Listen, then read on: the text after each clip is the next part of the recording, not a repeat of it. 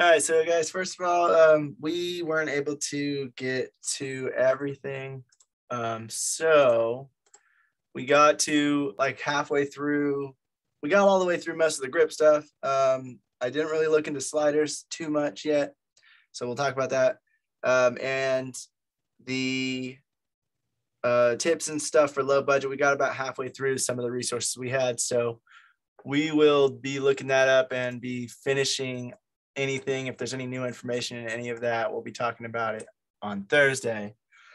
so we'll just go through what we uh, what we learned and then um, talk about that stuff Thursday. So the first thing we're talking about is grip equipment. There's a bunch of different kinds of stuff that you want to look into. Um, we're not going to look into every single thing like excuse me like like if you are working grip you want gloves of course but those kinds of things like we've already talked about that in a previous semester like all the different things that a grip a key grip would want or a gaffer would want. So um, this time we're just going to be talking more about like the different tools that are used that can be used by anybody especially if you're having your own um, if you're making your own production company or something like that if you're doing an independent production and you're not really going to have a grip department. These are some of the things you really want to have so that you have all of these rigging op- capabilities um, to set up different stuff and uh, have your lights or your camera set up in different ways so that it all looks good. So the first thing we're starting out with when we're talking about grip stuff is the C stand. There's two types of C stands. There's what's called a turtle base stand, which allows you to remove the risers, which leaves just the base. So if you look at this picture, the bottom part with those three legs is the base. Then you have that middle pull that rises kind of like any other stand you'll have where you untwist it, raise it up, and then twist it to lock it in place. Um, that's the risers. That's the riser area. And then you have um, on top, you have the um, extension arm coming through that grip head, which is the little part that you put the extension arm through. So all of that together is the C stand complete. So if you're gonna go buy a C stand, um, one thing you should note is if you just buy a C stand, some of them will just come with the legs and just come with the riser, and they won't include the um, grip heads or the extension arm. But a C stand complete, if that is what they call it, that is, that means it comes with the whole thing, everything you see in this picture. So just keep that in mind. Make sure that whatever you're buying, you know what you're buying. You don't have to buy extra stuff. Some of the higher end stuff you might start buying thinking that it's only, you know, 200 bucks for this brand thing and I'll go ahead and buy it. But then it ends up it's just the legs and the risers. And then you have to spend more money to buy that extra, um, the grip heads and the extension arm to go with it. And so it will add to the price. So you need to just know that beforehand so you're not buying something and then having to spend more money to complete the package um, but if you already know it and you still want it then you at least have the uh, full cost um, in advance that you know. So there's the turtle base which allows you to actually take the riser out of it and then it just has those that stand so you can actually put um, like a camera there or a light there really low down to the ground where it's just on that base.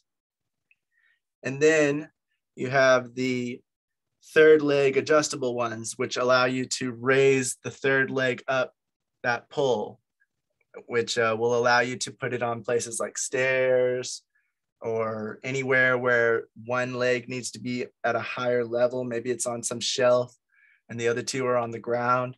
Well, you can raise up one leg all the way up so that it's resting really firm and stably on whatever you need. So those are the two main types. I've seen, I, I feel like I've seen some that can do both, but I'm not 100% on that. Um, but those are the two that they, they were talking about in, in all these resources. So those are two to look out for. If you want to be able to adjust one leg up and down and, and um, that gives you more versatility in where you can place the thing, especially if you're in a little, a real tight space that has different levels of things. You can raise up one of the legs and put it on something and then back the thing up wherever you need it to go um, so that it all works. But if you're able to and you want to have a separated piece, you have more versatility and being able to take out everything and just have that base with the three legs Then you could have some really low to the ground lights or a camera setup or something like that, just using that three legs. And those three legs are very um, sturdy and they're very stable. So that it's a good uh, base to have for different things. Um, as I already said that. So one thing you want to always look out for, especially with this kind of stuff, is the load capacity or the max weight or the payload. Those all pretty much mean the exact same thing, which is how much weight it's able to handle while remaining stable. So if you have a really heavy camera and you have a really heavy, or you have a really heavy light, um, and you're trying to rig up a bunch of different things to this thing, just make sure it's able to handle that weight without becoming unstable. You can always add a sandbag to one of these legs to make it more stable, but you just want to be sure that whatever the max weight is that it's able to handle, you don't go over that because if you do, it has the chance of bending or breaking or loosening that uh, arm and that and then it would just maybe your camera would fall over and break and all of that. So you just always want to be sure to check out how much your stuff weighs what you're going to be using on it and how much it is able to handle. You also want to leave some buffer room in between the two. You don't want to if it has max weight of it can handle 30 pounds of weight you don't want to have stuff that's 29.9 pounds and be like well i'm good. I'm going to use that try to get one that can handle a bit more weight or try to lessen your load so that there's a little more buffer room there because you don't ever want to get to that max just in case you always want to leave some extra pounds um, of weight off so that there's a little buffer room in case you didn't do the calculations correct or the thing can't actually handle 30 pounds. It can only handle so and so many but it's basically 30 and all those types of things that could happen. So you always want to have a little bit of extra buffer room there.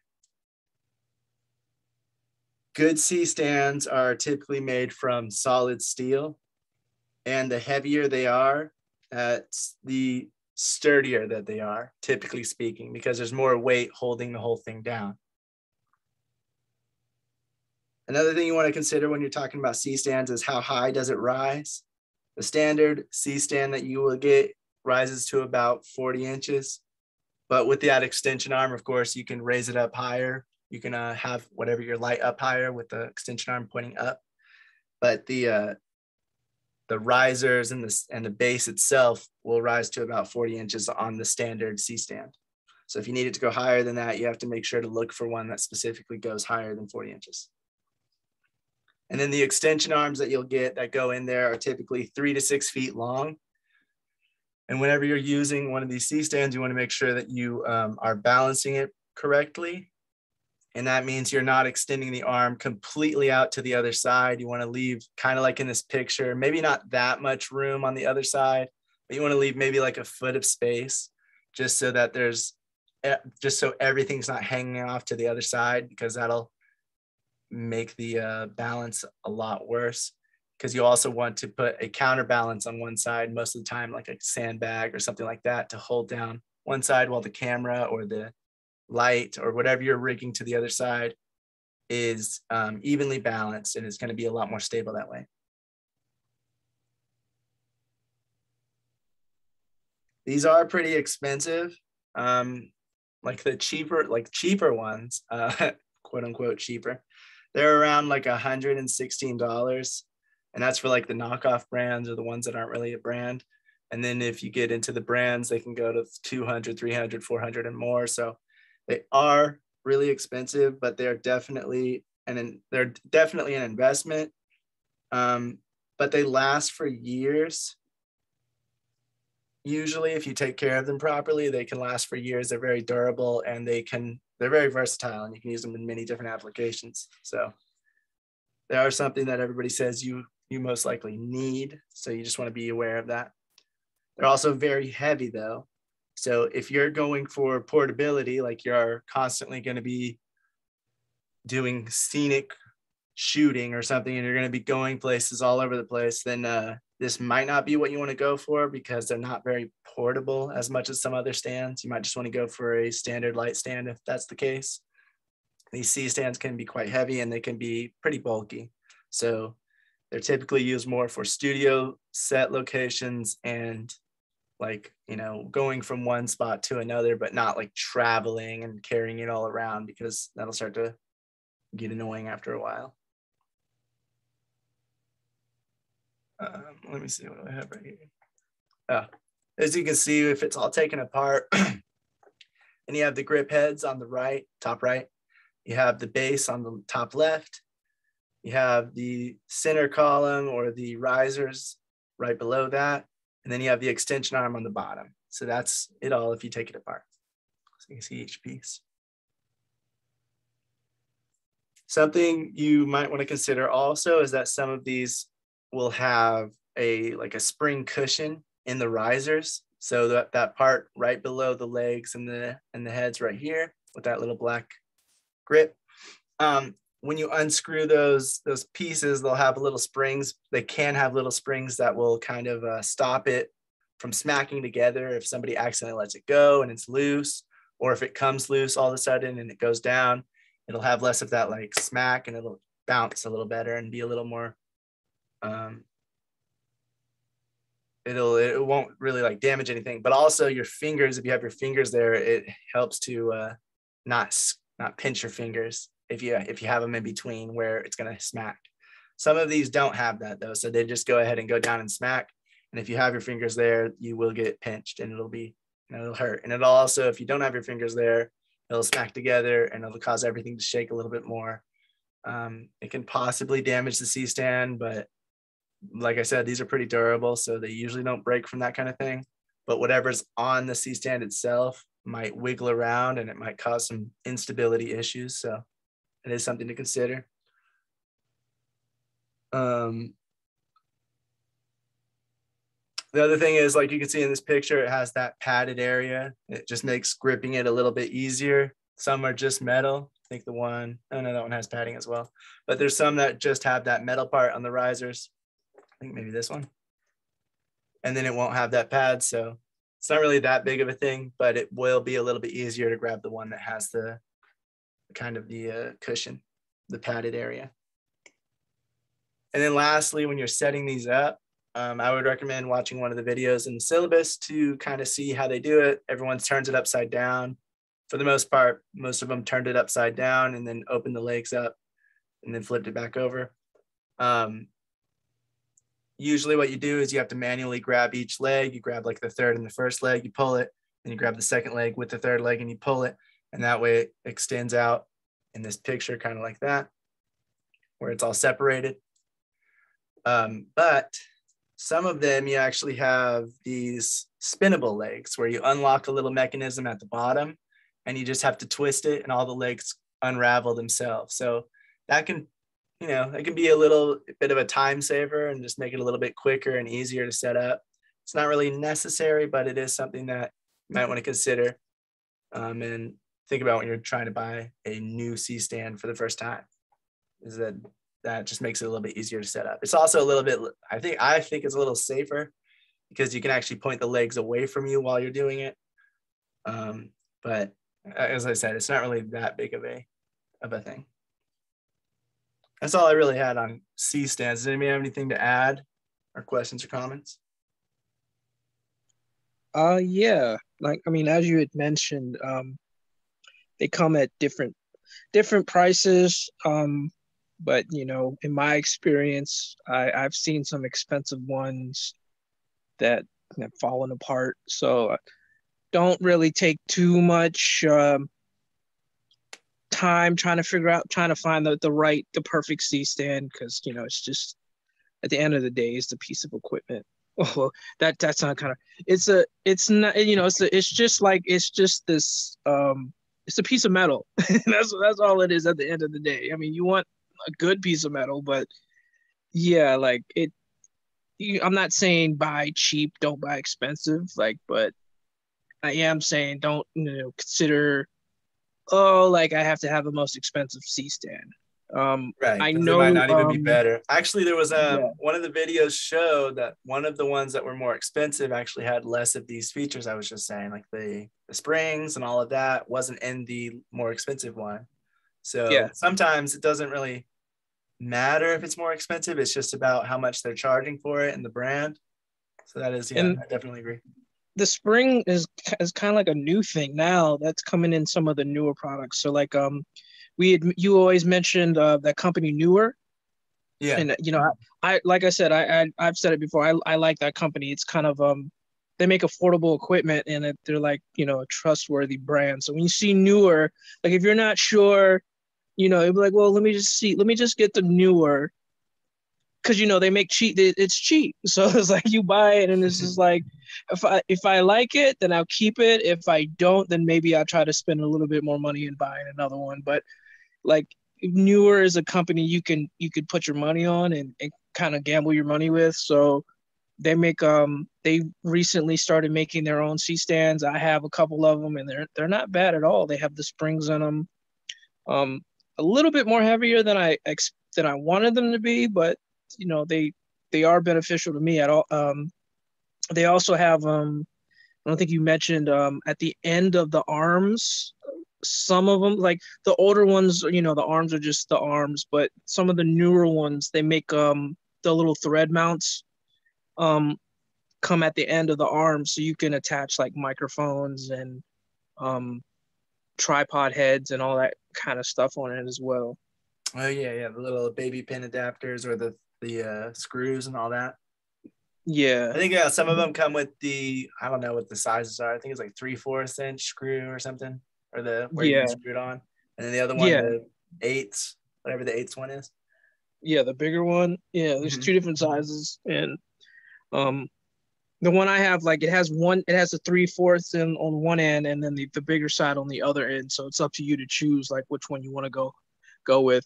I thought that was pretty cool too. They just kind of recently started doing that with the uh the new tripod heads. I mean, not I said tripod. The new um extension arms. The extension arms. Yeah, that's kind of like a new feature they started adding. So is the spring as well. They um to add to that, the spring it kind of helps absorb impact. So, like you said, if it drops and you have a heavy light on there, it'll, you know, if there's no spring in there, it'll just drop and then it'll just bounce somewhere. But you know, with the spring in there, it helps absorb it, so it'll bounce right back up and keep it from falling.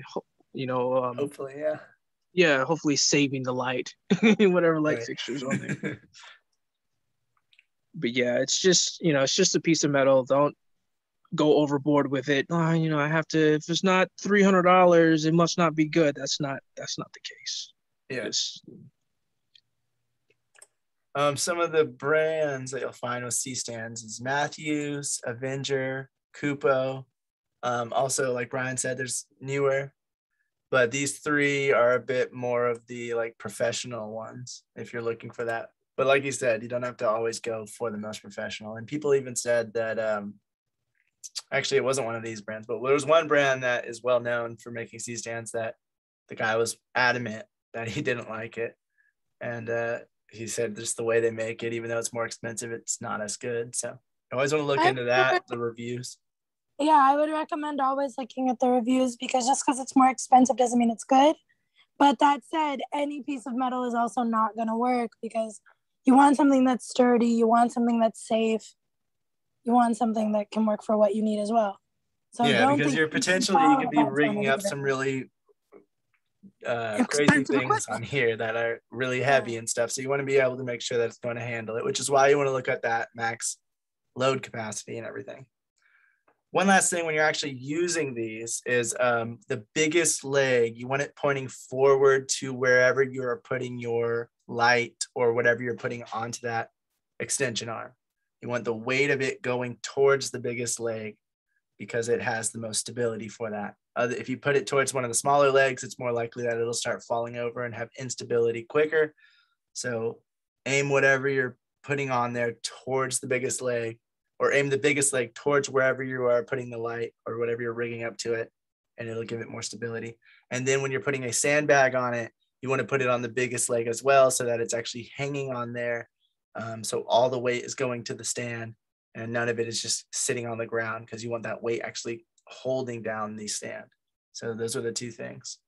Oh, and then like the last thing was the extension arm. When you are putting it on, you want to put the the thing with the weight, like the light, towards the side that's going to tighten it on the right.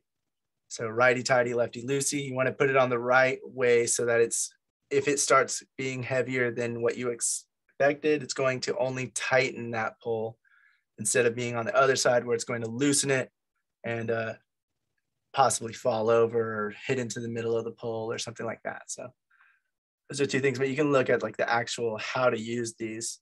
Um, and we even talked about this last semester, but I just thought I'd bring that up again. Going on from that, we have apple boxes. Now, apple boxes come in four different sizes. There's the full, which is on the bottom, the half on the right above that, quarter right above that, and then the eighth, or AKA the pancake, which is the one on top.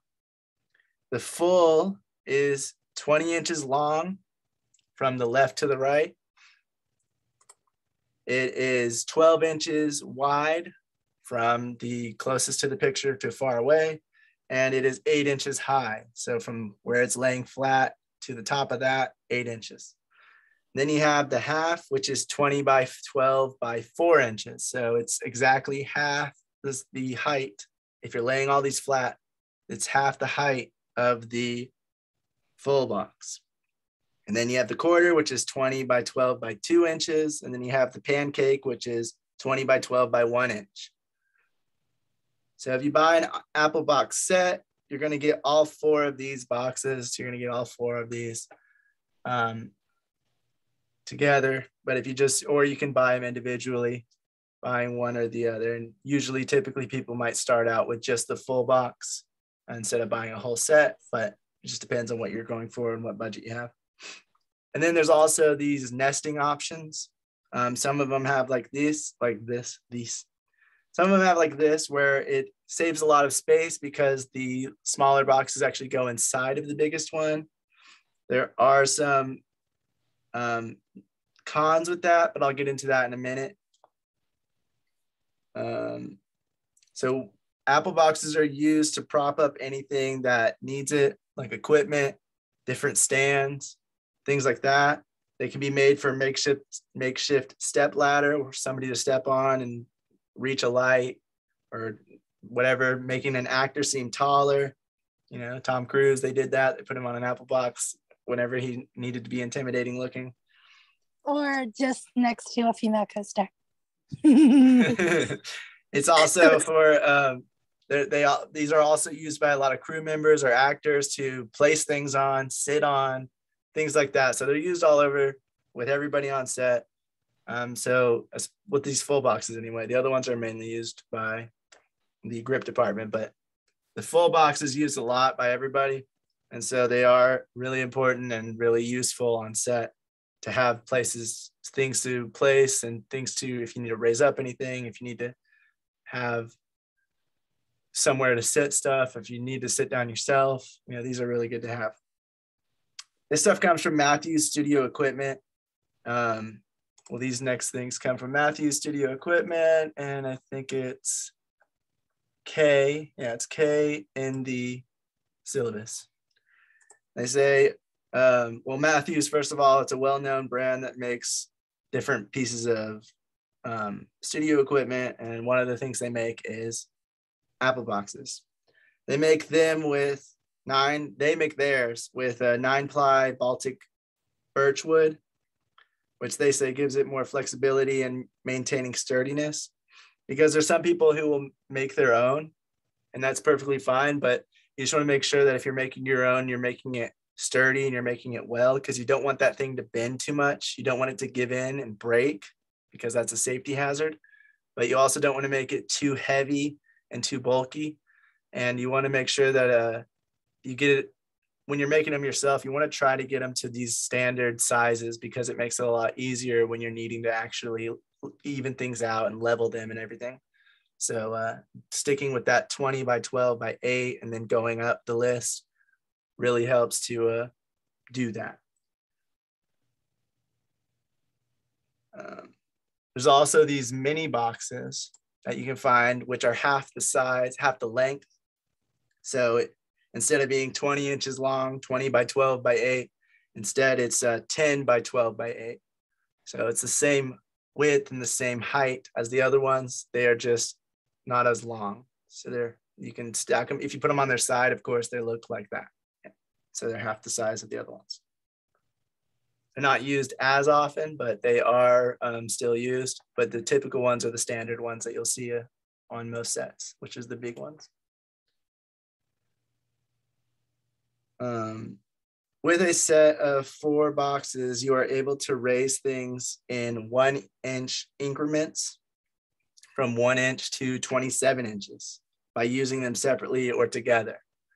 How that works is like we were talking about with the, um, with how tall these are, if you're putting them flat like this, the one on the top, the pancake or the uh, eighth, it is one inch tall. So you can put that down if somebody needs to raise something by an inch. You know, hey, we need to put the tripod an inch taller. Can you help us? Yeah, here you go.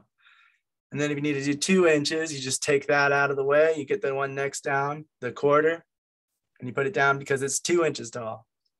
If you need three inches, you bring the pancake back, put it on there. And if you need four inches, you take both those away and you give the the half one and you just keep going in that order you know just keep adding and taking away and you can go inch by inch. Eventually you'll turn the uh, the full box on its side and you'll put the other ones flat and that'll just keep raising it all up until you're about 27 inches tall. So um, they really help whenever you're needing to have really small adjustments and be very accurate. You're able to mix and match these to raise things up or lower them inch by inch. So they're really helpful for that kind of stuff, especially when you're messing with things in a camera in frame. And all you need to do is just barely move this thing a little bit up or a little bit down. Well, not, I guess not down, but a little bit more high than uh, you want to use these Apple boxes too, because they're sturdy and they're easy to, to put down and they're flat. And so, yeah, they're good for that. Um, they, they recommend if you're able to, um, try to get four of each kind. So four sets total. That way, if you need to raise a table, a couch, or anything that has that, that four legs, like a maybe a bed, you're able to do that evenly. You don't have to um, worry about trying to find another way to do it. You can just use these apple boxes to put it underneath whatever you're needing to raise. And again, you can raise it up inch by inch until they have it at the right height.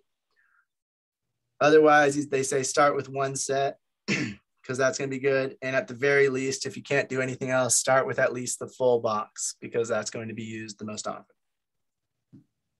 They also recommend, even if you do get four of each kind, get two extra full boxes because uh, everyone on set is going to be using them to sit down or place their things. And sometimes they get lost on set or the director's using it or somebody's using it and you can't really use it for, you know, using it for like the actual raising things up or grip department and using it as a step ladder and those kinds of things. And so having some extra around typically help. Again, of course, that is coming from Matthews and they do sell these Apple boxes on their website. So they, you know, want people to buy more but I would say that they're probably right on trying to get extras just to have uh, those different things, uh, those different capabilities and versatility for these. Now this comes from Gaffer and Gear, and it's I in the syllabus. It's Gaffer and Gear 140 Kupo, Kupo Apple boxes. And he starts talking about these ones that are nested, and he's talking about the pros and cons of them.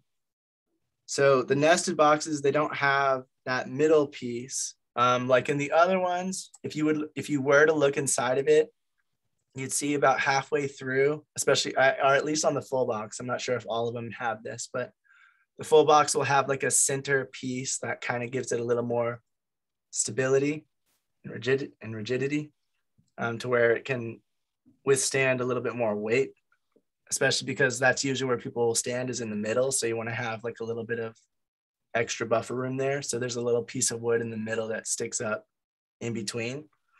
Um, while in this one, of course, because everything goes inside of it, they don't have that. So he said he's he jumped on them and things, and it worked fine, and it didn't break. So he's not really too worried about it, but it is something to think about, especially if you're trying to like buy these once and then be done with it. If you want them to last for a really long time, you want to maybe get the one that's a little more sturdy. he says because of that lid that comes off. So if you look on the picture on the top, that's the lid um, that will slide into place and have that little magnetized piece that locks it in so that it doesn't uh, come loose. But if you have this Kupo box on its side, like if you had it on the side furthest away from this picture over here, if you guys can see my cursor, if you had it laying on that side and you're trying to pick it up from the handles, then um, it's going to start sliding off as you grab it up. So that's something that gets a little annoying, he said. And you always want to try to place it on this side down if you're placing it sideways. That way, when you're picking it up from the handlebars, it will, from the holes, the handles, it won't uh, slide off as you're picking it up. Um, and nested boxes, the full box is the standard dimension. So it's the 20 by 12 by 8.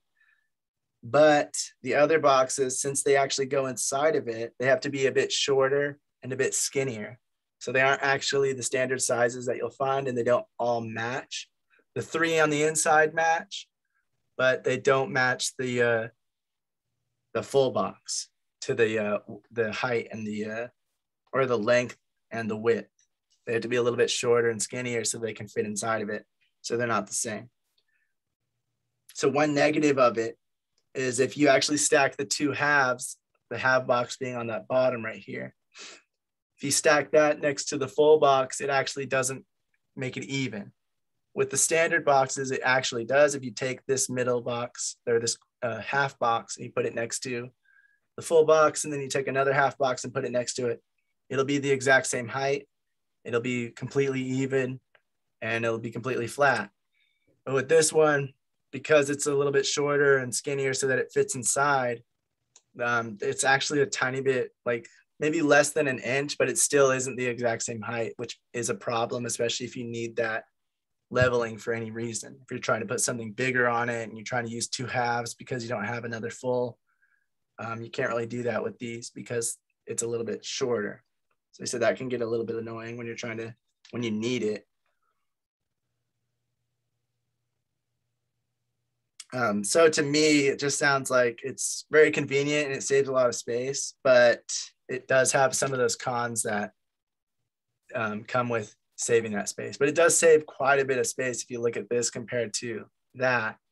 Having, especially if you are going to go ahead and get four sets of them, having this, um, you're going to need a lot more room for like 16 of that than just having four packs of these all compacted together.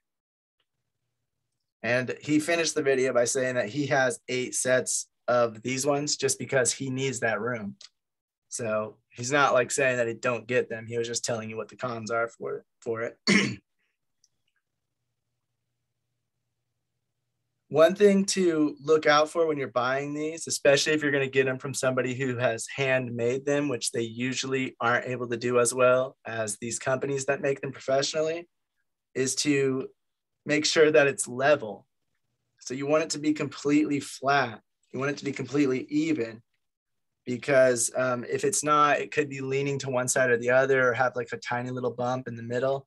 And if you're needing it for whatever reason to, um, I don't know, if you usually you need these to be level and you need them to be flat. So just be, pay attention to that because the professional companies like Kupo and Matthews and all that, they'll actually like press them down, making them flat and even.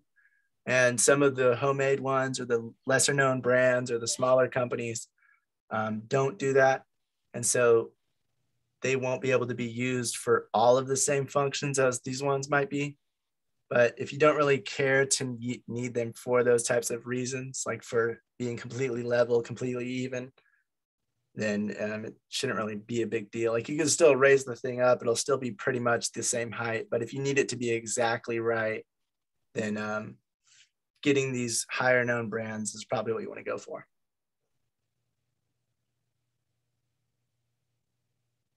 Um, and then lastly, it's just some of the brands that make them. I think I already named them, but Kupo and Matthews are the best known brands that make apple boxes where you can go online and buy them, or you can go on eBay or Amazon and you'll find those companies the most. Does anybody have any questions or comments about apple boxes?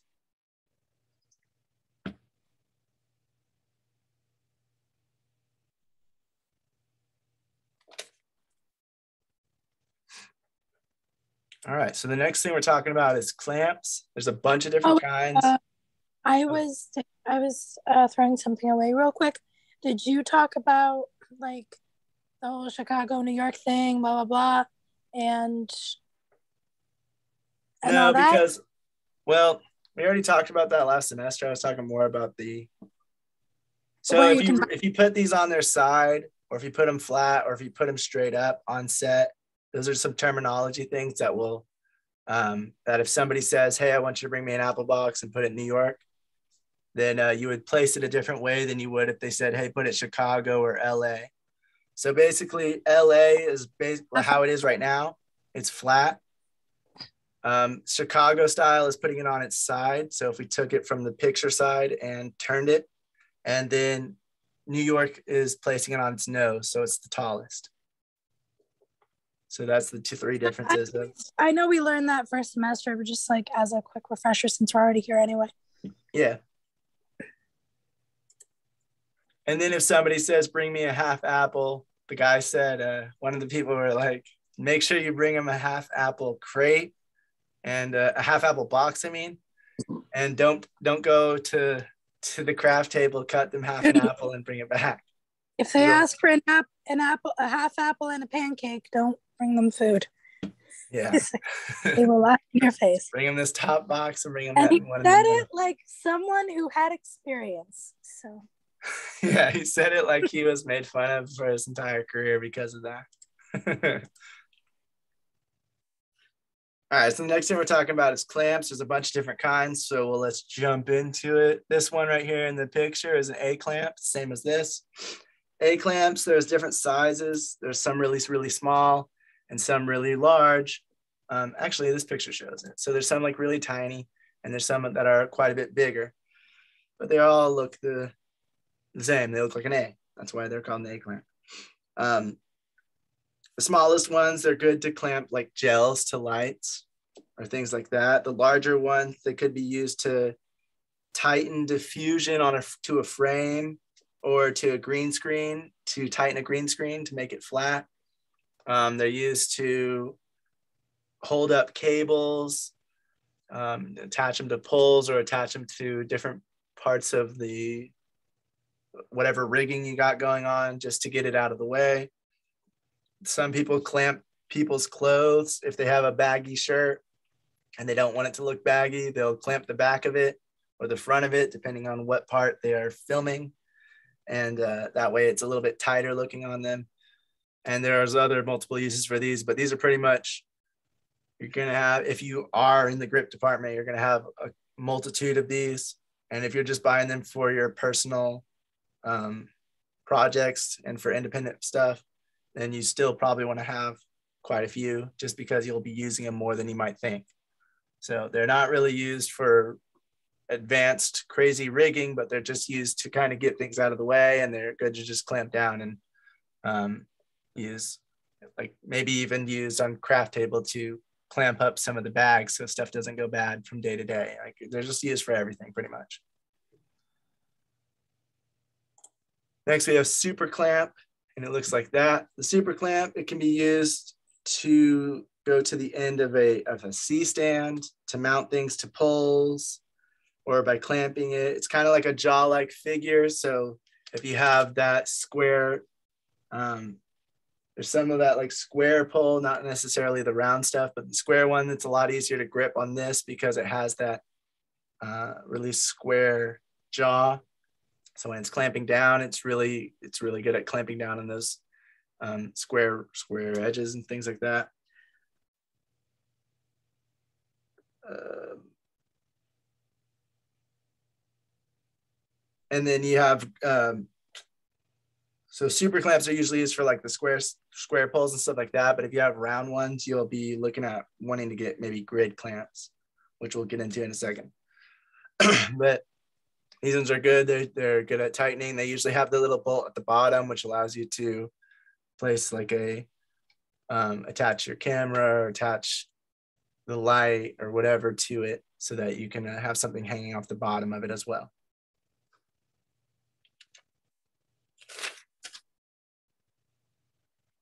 Moving on from that, we have Cardellini clamps. Cardellini clamps look like this. Basically, they have these two little clamp parts that go up and down the screw. And then you have that little um, screw that you just hit to really get it to tighten. And then you just twist it until you feel like it's tight enough to hold on to whatever it's trying to clamp to. You have two different, uh, three different kinds of Cardellini clamps. You have the ones with the end jaw, which is the where the claw, the jaw is at the end like this. Well, shoot, that thing came up. There we go. You have ones with the mid, which has it in the middle. And then you have these little tiny ones that it we're really zoomed in, but it's a lot smaller than something like that. And uh, these, they say that they're really good for getting into really tight places where you can't really grasp or like grab your hand around a um, like a like a the jaw for the other ones where you have to clamp it down to get it to open and it doesn't have as much space to open like that. These are good because they just they clamp together instead of going outward to clamp. Like if you were to use the super clamp you have to like pinch it open and open it up that way and then get it shut. So if you're going behind a couch or something and there's like a little bit of space and there's only like a few inches these are easier to grab onto something and then just tighten it because they're really small and really easy to uh, get around those kinds of things. Instead of needing something like this picture right here where you have to actually open it up and there's not there might not be that much space for it. And then the little mini ones um, little mini ones are good for like smaller stuff of course. You don't want to use the tiny ones for large rigging and like heavy equipment but you just have something really small and you need to get it put up wherever, then these are really good to do that one for.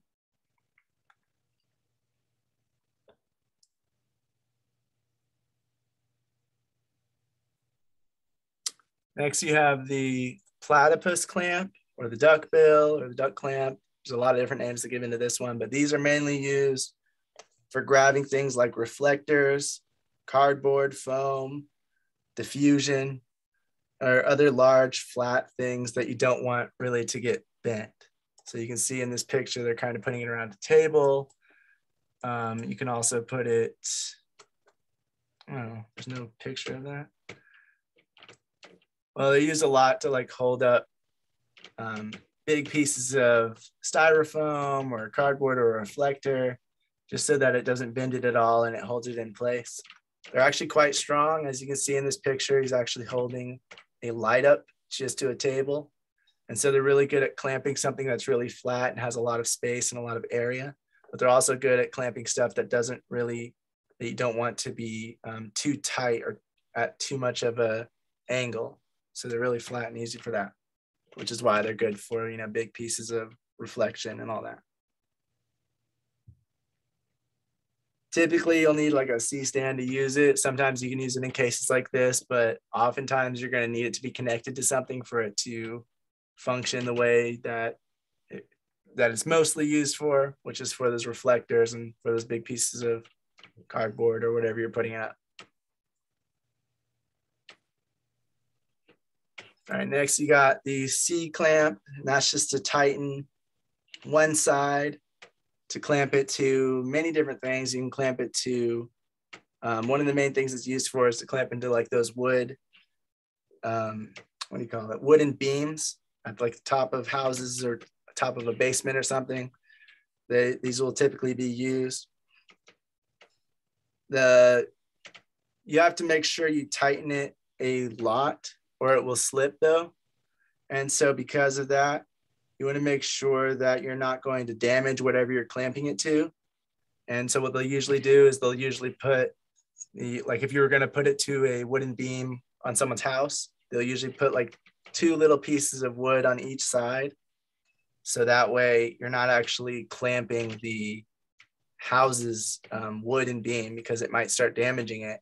You're clamping these random pieces of wood that you already have on set. Um, so want to take precautions when you're using these because they are very strong. Any of these clamps, I'd say take some precaution where you can. But stuff like this that's actually going to attach to the house and things like that, or attached to you know a table or something that can easily get damaged. You just want to be sure to take that extra precaution when you're using it. One of the downsides about these is you, it takes a little bit longer to tighten because it's so big. Some of them are really small, some of them are really big. So it just depends on what size you get. If you're getting the big ones and you're loosening it up, trying to get it around something really big, then uh, it's just going to take a little bit of time to unravel and, and then to uh, tighten back. They're also a little bit bulky, uh, depending on the size you get, but they're necessary and they're great to have, just a bit harder to use. Oh, putting those two pieces of wood is called cribbing. So if you ever hear somebody talk about cribbing it, it just means putting two uh, pieces of wood or foam or something around whatever it's attaching to so that it's not damaging the thing it's clamping on. Next, we have a chain vice grip. And what this does is that chain comes loose and then you can put it around whatever you're putting it around to clamp it to and you tighten it to whatever you need to and then it clamps down on the chain so that it's really secure and really tight around um, whatever it is. And these are used just in like any kind of awkward situation where none of these other clamps might work. Um, they're really big and heavy though, but they're very helpful to tighten those things that you can't really get anything else. And it's better than using a rope most of the time because it is a bit more sturdy because rope it can uh, come undone or unravel if you don't if you don't do it right but this is just easy and quick to get it around, tighten it, and then lock it in place. However, they say be cautious when using it because it can easily bend or ruin the things you attach it to.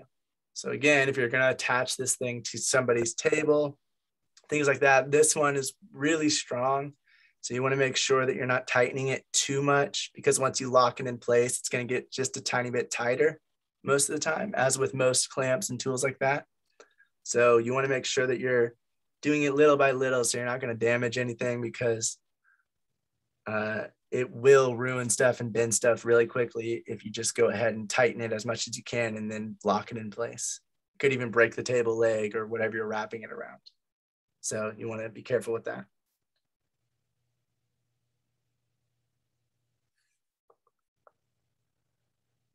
Um, then we have that grid clamp that I was talking about earlier. That one's a little bit more rounded, as you can see, and that's why it's good, a good option to put around pipe or different circular things. Usually it's some kind of pole or usually it's the rigging that you're gonna use, um, speed rail, things like that that you're gonna use on set. And all you do is you just flip that thing and then you twist it to lock it in place and it holds whatever it's grabbing to. And then it has that little piece at the bottom where you can connect the light or whatever you're trying to connect to the bottom of it.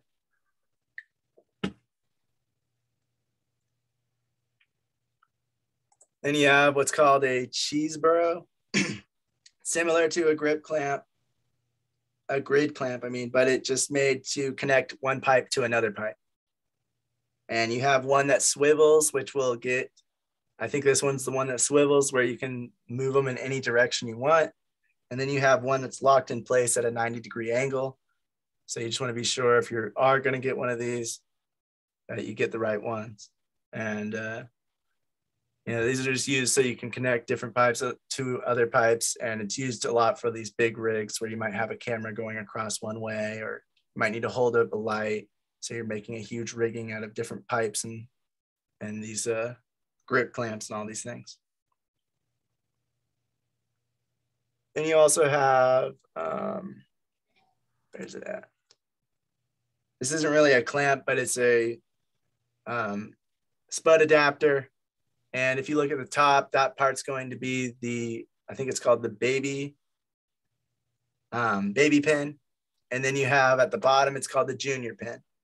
So the different lights you use, almost all of them, if not all of them, are going to use one or the other of these, especially with the uh, more professional standardized equipment. You're going to use mostly the junior pin for those. For cheaper stuff, you're going to use more of the baby pin, but both are going to be used on a multitude of different things used on a film set. So it's always good to have one or two or three of these so that if you are using any kind of equipment, you can adapt it to one or the other depending on what you're trying to use. You can also see that they both have holes at the end. and this is used so that if you're putting a light up in here, you're going to screw it on and it's going to tighten at that part um, that is a little bit lower. If you can see my mouse, it's like right there. That's where the screw is going to tighten on. That's when it, where it's going to like kind of clamp. And then you're going to put a little bobby pin or piece of metal or a screw or a nail or something, and you're going to put it through that little hole. That way, if it does happen to come loose your equipment, it's going to fall on that piece of metal and it's not going to uh, go anywhere, hopefully. You know, it's going to be protected from that so that if it does get loose somehow, if it does come off, or if it does unclamp, it'll uh, just fall on that piece of metal and not go anywhere. You have these things called baby nail on plate. Baby nail on plates. It's called baby because it has a baby pin. I'm pretty sure there's also junior junior nail on plates. So if you ever see any of this equipment and it has the word baby before it, that's just the kind of pin size it's using. And if it has junior, then it's the other one. So that's just something to note. Um, but it allows you to secure stuff to either like a wall or a ceiling by putting nails or screws in these little holes and actually attaching it to a wall or ceiling or some other flat surface. You can also, well, one of the people said that you can also use it to um, create like a flat surface, maybe for somebody's elbow if they're using their phone. Like if you see a shot of somebody using their phone in a film, they might have their hand, their elbow actually on a flat surface that has one of these connected to a C stand with a little flat board that allows them to just hold their hand there without you noticing it or hold their put their elbow there without you noticing it. And uh, he also said that they sometimes use it for the director or the producer to have a place to put their laptop. So sometimes these things aren't actually used for like the gear. It's just used for these uh, different positions, different people for when they need like a area to put stuff or to play stuff, maybe even to eat. If they don't have enough room or space, then uh, they'll use maybe something like this. But this is typically it's used to like attach something to a wall or to a ceiling. You want to just always be aware of how much weight you're able to put on these different things because you know some things are going to be too heavy for these things to handle and they might tear out, especially depending on what you're putting it into. Not all walls, not all ceilings are going to have the same material. You want to make sure you're putting it to somewhere where it's a lot more sturdy and not just drywall where it might fall off or break off and uh, damage the place, but also your equipment. So those are some things to keep in mind anytime you're doing any kind of rigging or thinking about it at all. Just be safe, safety first with all this stuff. This next thing is called scissor clips, and this is something you definitely want to make sure you're only using something light. If you ever go into an office place and you look up at the ceiling, you'll have those like, not really sure what the material is, but basically drywall pieces um, that are really flimsy and you can just punch them out to get into the actual ceiling area. And then you have these uh, little metal slivers in between that attach them. So when you're hanging a light, you can't just use one of these like nail on plates or something like that because it's not going to be sturdy enough. It's not going to attach. And there's not really anywhere else to use any of those other clamps we've just talked about. So they have what these uh, little scissor clamps that look like this. And you just kind of, it's scissors because they come out like scissors and then you put them together and it becomes flat. And you attach it to something like that to where you can hang a light. But they don't really allow for too much weight. So you also want to be sure that you're not hanging anything that's too heavy, something kind of light, something that's not going to bend it and break it and ruin the place. But if you're shooting in an office or you're shooting somewhere that's a business, they might have this kind of wall and this kind of ceiling. So having one of these tools for those just in case moments is really good. Um, so you can at least figure out something and some kind of lighting to do there instead of just using the light that's there, which is usually fluorescents, which look ugly on film.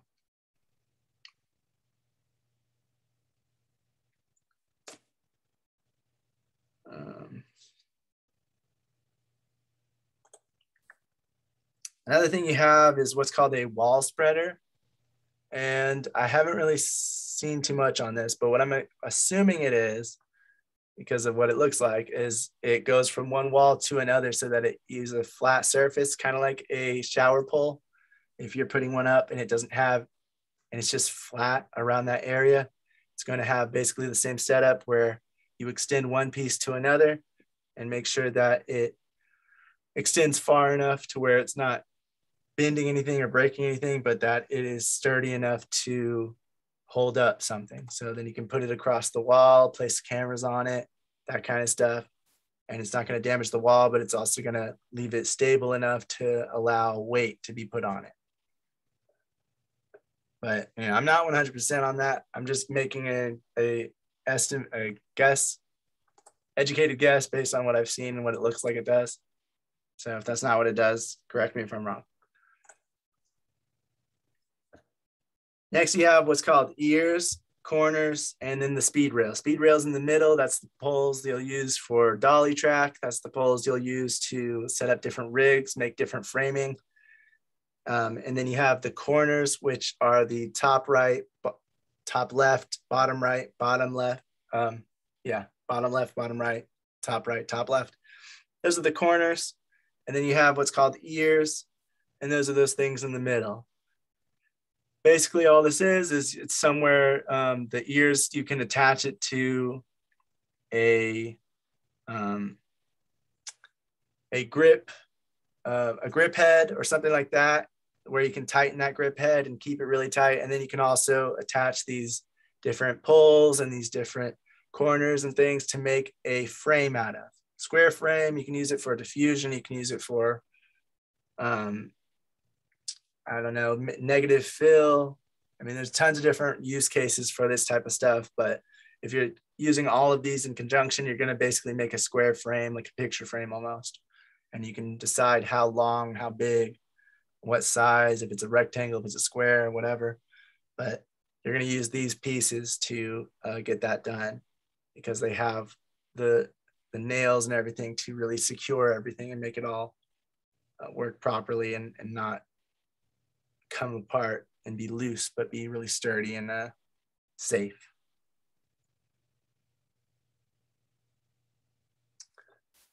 And another tool they're showing in a lot of the videos is called safety chains. Again, this isn't really a clamp and neither was the last thing, but it's just more grip gear.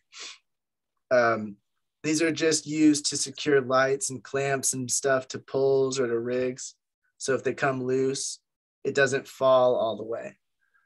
So you might have a a light that you're putting up on a rig and you're putting it up on a maybe a C stand and there's a you have some pole coming out that you're going to attach something to. So you're using a, a, one of those clamps and then you have the light coming out of that. Well with these you just put it around the pole and you put it around the light wherever it can fit um, wherever there's like somewhere like a loop that you can put it into. So that way if it does happen to come loose if the clamp gives out you know, whatever happens, just in case, then it will fall, but it'll still hang off of these little safety chains. Um, so you don't want to actually hang something up off of these safety chains because that's not safe. And also it'll be really loose and, it, and it's not going to tighten it. These aren't used for really tightening everything. It's just used as a safety precaution so that if something comes loose or something starts to fall, it has one last step of safety and backup before it collapses and falls all the way and hits somebody in the head or breaks or causes a fire or whatever kind of problem that you don't want to happen on set.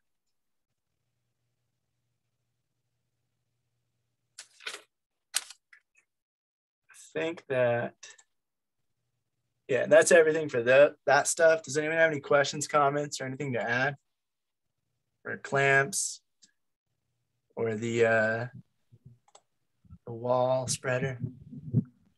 A lot of this stuff can be found at Lowe's or Home Depot, um, if you're good with like carpentry work, a lot of this stuff you could probably build your own. Not suggesting it, but I just know that I see a lot of things like when you look for specifically, mm-hmm. um, like certain clamps and stuff. You had one you you had shown one one clamp that was like a mix between, um, it was like a, a vice grip, and I was I'm, I'm just like it's just a vice grip. But like if you were to go to like B and H or somewhere to buy it, they'd probably charge you like 200 bucks for it. You know, just yeah. It's just because like, but like for me, like because I'm a mechanic and I work with a lot of these tools, like I, I recognize them. I'm like, well, I, I know the true value of it, but you know, people that don't you know, have any knowledge of tools and stuff might go and. I'm very good to record it, so sometimes I also oh. spend hundreds of dollars on stuff that's not even necessary, trying to find it on like whatever film site, you know, right? Film production site. So. Right, and I would say one of the main differences I would I would say one of the main differences I've seen for um, just regular use case and film use case is a lot of the film stuff will come with these little baby pins at the end or something like that. That way you can also attach a light, but that's not always necessary. And like you said, it's just going to up the price quite a bit. So it just depends on what you think you need it for. But um, but yeah, there's definitely some of this stuff is just basically like tools that a carpenter would use or somebody who's building things, any kind of stuff um, would use this kind of thing. But that is something to also look out for if you want a tool that can do a lot more. If you, want it to do like specific specific stuff for film, some of the tools will have extra like like this one has two ends of the bobby pin or the baby baby pins that uh, will help attach it to lights or different poles. But if you were just going to buy something like this, it doesn't really have that. It just has the chain, but it can still work for what you need it to, to attach all this stuff and to tighten it and get it all secure. The main thing about all this stuff is just securing it and finding some way to rig it, rig it up. That's what the grip department's for. Um, finding a way to get the lights in a place that wouldn't normally be able to get it there. That's all it is. It's just finding different ways to do that. Not always lights, but you know what I mean. It's just trying to find a way to get the uh, system rigged up, if it's poles or if it's lights or if it's a camera, trying to find how to do it. And all of these different tools have a specific use and can uh, be used for different things. And once you start actually, if you do start actually doing all of it, you will start to see the different use cases for them and when you might need one over the other. Like you wouldn't want to use this on that table. This one's not going to cause as much damage as this one might, unless you do that cribbing thing. And then even then, it might not be as secure, depending on what kind of equipment you're using, or maybe it's more secure. So you just want to be thinking about all that, and you'll start to notice it if you start using all these different tools, and start to see that some of it is uh, has better use cases for different scenarios than others. Um, like the last thing you want to do on a set, especially if you're on location at someone else's place, is damage anything. So making sure everything stays safe and you leave it the way it was found is like paramount whenever you're trying to do any of this kind of stuff, which is why, you know, that, that this is why one of the reasons why filmmakers and filmmaking gets a bad rep when it comes to locations, because they'll come in, they'll set up this huge camera rig and all of these different things they'll leave and then there's holes or dents and everything has you know bumps on the floor and there's dents in the wall and they hung up something and they didn't plaster over it. So there's just holes where they put all their nails and you know all these things that they should have done or brought it back to the way it was before they had gotten there uh, is why you might have people that that know about filmmaking and know about new filmmakers where they might be less inclined to let you do it because they're are more used to that kind of thing happening on um, less experienced sets mainly but also maybe even larger sets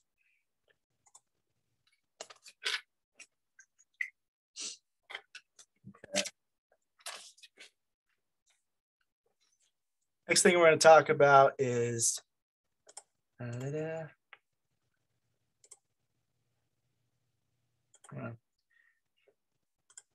Sandbags. If this will load. I didn't load? That's weird. Well, that's weird. Let me just look it up then.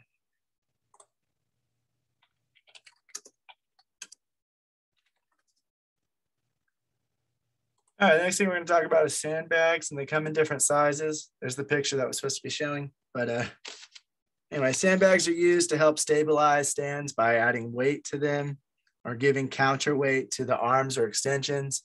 So these are especially useful and especially needed whenever you're using big equipment and where you when you're using things like the um, C stands.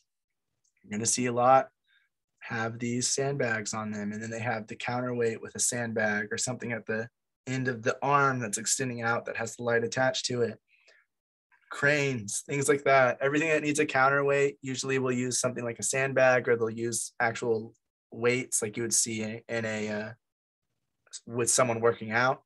But sandbags are used all over the place, and they're used just to really secure things down whenever they need that extra stability in case it's a little flimsy, especially when you have these um, light stands like this, like in this picture, that uh, aren't the most sturdy and aren't the most stable whenever you have bigger equipment on it. Sandbags will help to really weigh it down to keep it locked in place. It's not always just so that it's um, about it falling over and breaking. It's also just so if anybody bumps into it, it doesn't move out of place. So that's another thing you don't want. You don't want the lighting to change, or if you have a camera attached to a tripod, you don't want the um, the framing to come out of place because then it's going to take more time and be more annoying to try to figure out exactly where you had it. So sandbags will also help to keep it in the same position, even if someone bumps into it, and it's less likely that it's going to get it out of place than if you didn't have them. But for the most part, these are used for making sure that the equipment's not going to fall because you have this very expensive lights, you have this very expensive camera.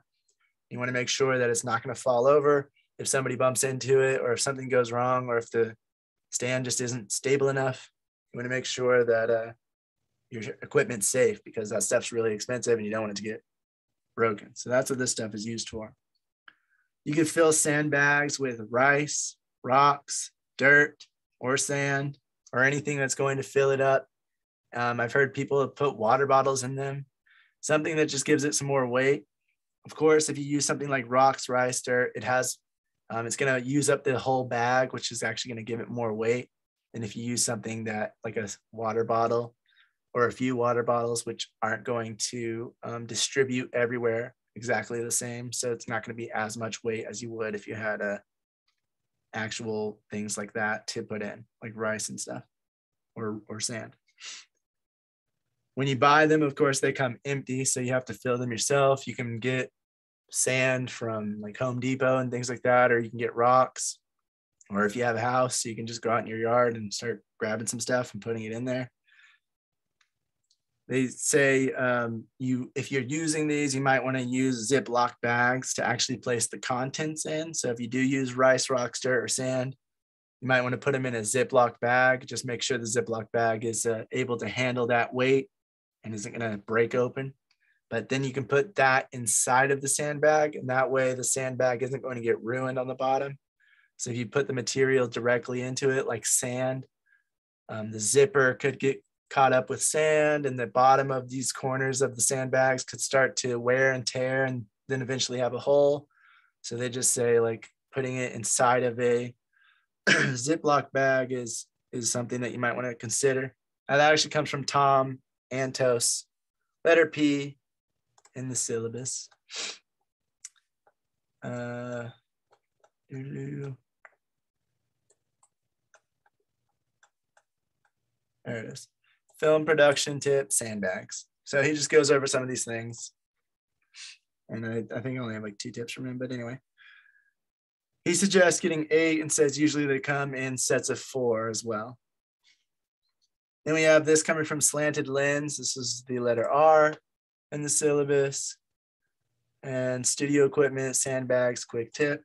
It's the video. There's sandbags with handles vertically, and then there's sandbags with handles horizontally. And he recommends getting the ones with handles horizontally. So these ones that we're looking at in this image actually have them going vertically.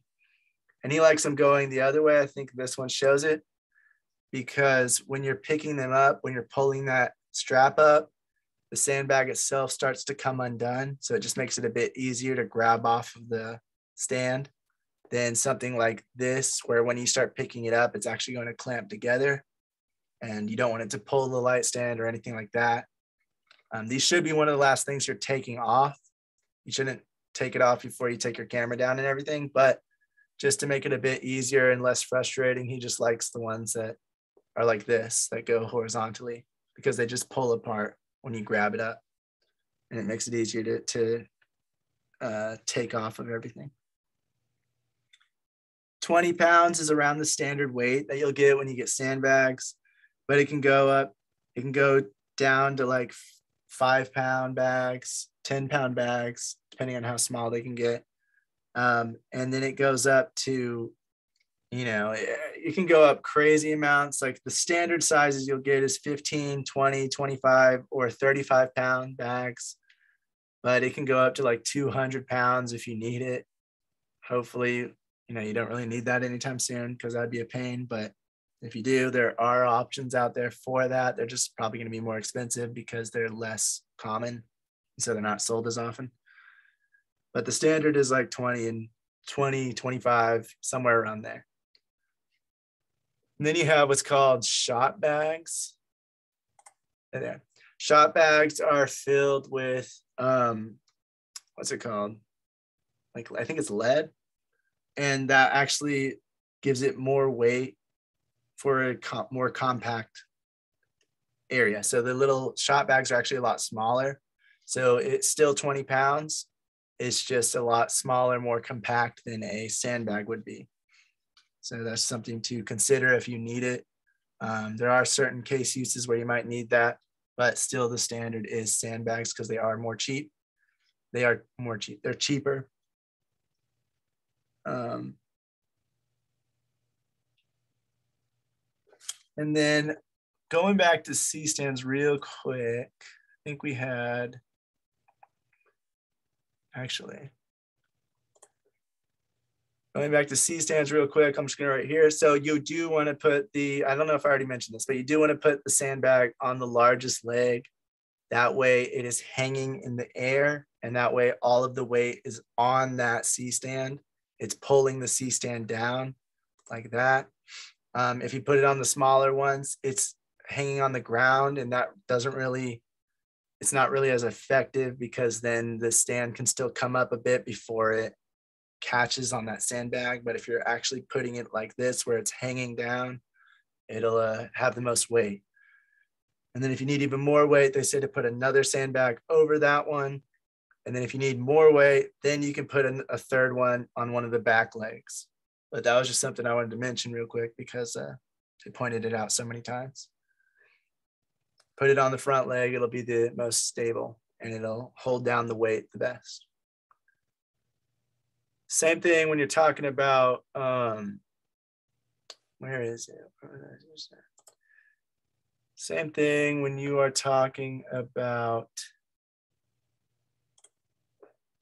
ah, here we go when you're talking about these kinds of stands, you want to put the sandbag in the middle like this. You don't really want to put it on the outside because it's it can slip off. I think he's actually showing it right here. Um, this is slanted lens. This is the guy who does who has all these tips, by the way. He's the one that everyone was pointing to because he made the video about it mostly. Mostly. Putting it like this, it has more of a chance to fall down, slip off. So you typically want to put it in the middle so that it has less of a chance to do that when you're using that kind of stand. Um, because that will slip off, but putting it in the middle, it'll be secure and weigh the whole thing down. So if you're using some light stand like that, that's just how you should put the, the sandbags to keep it more secure. Does anyone have any questions or comments about sandbags? Matthews again, Matthews and Kupo, some of the brands you'll find for sandbags. So these two brands keep popping up on a lot of this gear. They make a lot of this stuff.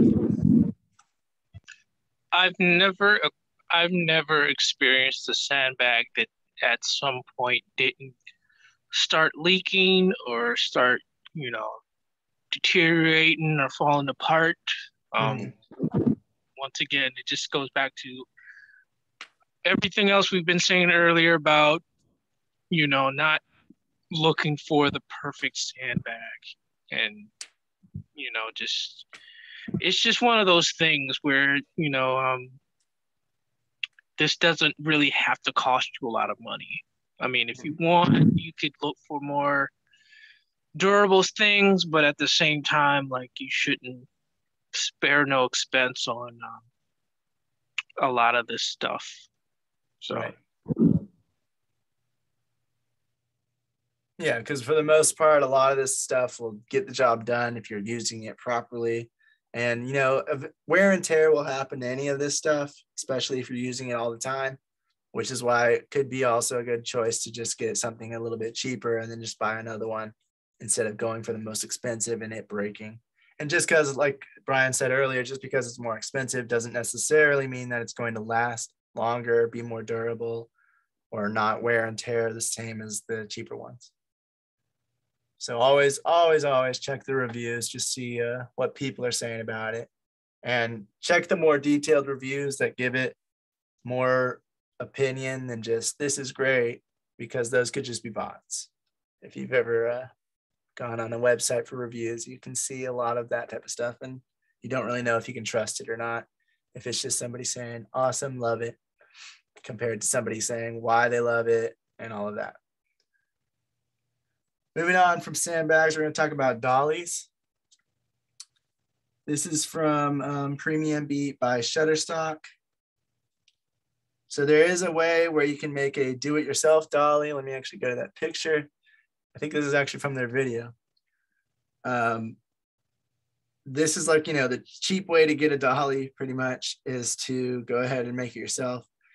It's probably not going to be as uh, know, it's definitely not going to be as effective as the ones that have been made professionally, but it is a way to still use a dolly or get the shots that you need if you can't afford the doll the a dolly or dolly track because those can get it really expensive. So one way to do it yourself is you get those little washers, those little metal parts that you'll see right here on the board. You get some screws and you get some skateboard or skate wheels and you, you buy some skates or a skateboard and you just take the wheels off pretty much, unless you can find a pack of just the wheels. And then you take the that, you put it all together, get like a piece of plywood like this little square part. And you use the screws and the the washer and the wheels, you put them all together and you put the screws through it and you make your own little dolly track. Then you can use a, I think it's called PVC pipe, and you can just buy that from any hardware store, and it it works like a dolly, and it you can use it, set it up how you want, um, and you can create it yourself, and then you can put your camera on top of it. So that is a way to do it yourself. If you are handy and you know what you're doing, or if you just want to test it out, see, and it's not too expensive. They made that one for about 50 bucks, and it still works really well um, especially if you have a flat surface that you're putting the dolly track on, makes it really simple and easy to to do something like this. Um, if you again, if you're handy.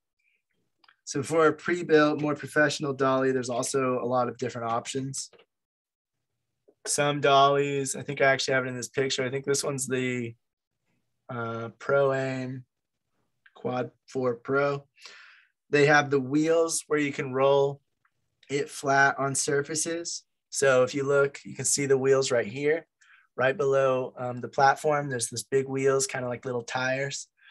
And those are made so that you can actually move it across. If you have a flat surface, if you have something that doesn't have too many bumps and ridges in it, and it's not going to bump the camera and make the movement look weird, but something kind of smooth, like maybe a, a gym or a dance floor or a theater stage or something like that, you can use that to bring it across and have a hand there's pretty much a cart where you're pulling it around and you have a dolly that you can move around and put wherever you want. So that is an option. And they also have those what they call it, like skateboards, which just have the little wheels and that little uh, little board to put the wheels on the big tire wheels on top of that on those um what are they called the rail wait rail wheels and those rail wheels will go on top of the um the uh, what is it called? Dolly track. Sorry. So they'll go on top of the dolly track and then you can have a dolly like that.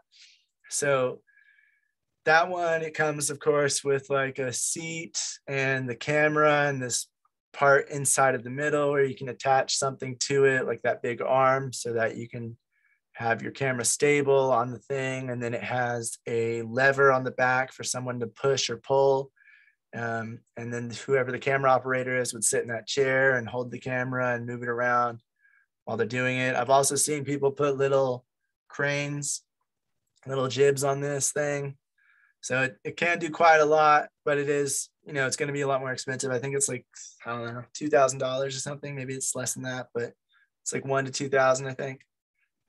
Um, and it doesn't work everywhere. Like if you have a bumpy street with a side, like if you're going across a sidewalk with all the bumps, it's not, it's not really going to be like as smooth as you would get from actually having a pre-set up dolly track. So it depends on where you're using it and it doesn't work everywhere, but it is an option, especially if you have the money and you have the space for it, because it will take up a little bit of space using a, something like that.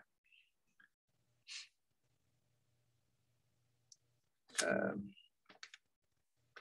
so some, like of course, some dollies like this one, they allow the camera operator to actually sit with it, sit with the camera itself. Some of the dollies will just have room enough for the camera especially a lot of the do-it-yourself options they'll just have room enough to put the camera on a tripod or a stand of some sort and then the camera operator will be behind it um, operating it instead of on top of the platform with the camera itself whenever you're buying a dolly always make sure to check the reviews and just check what the stability of it is how smooth it is um, and also how quiet it is. You don't want something that's really loud, that's making a lot of noise. Um, you know, whatever kind of, whatever, however it's mechanically put together. You don't want all that stuff making noise, squeaking, or making thuds, or the wheels making scratch noises as they're going across the rail. You want it to be as quiet as possible, of course, because you always want to just capture as best sound as possible on set. And so, uh, when using this, you look for ones that are more quiet. Also, of course, with this, with everything else, always check what the max weight is that the dolly can handle.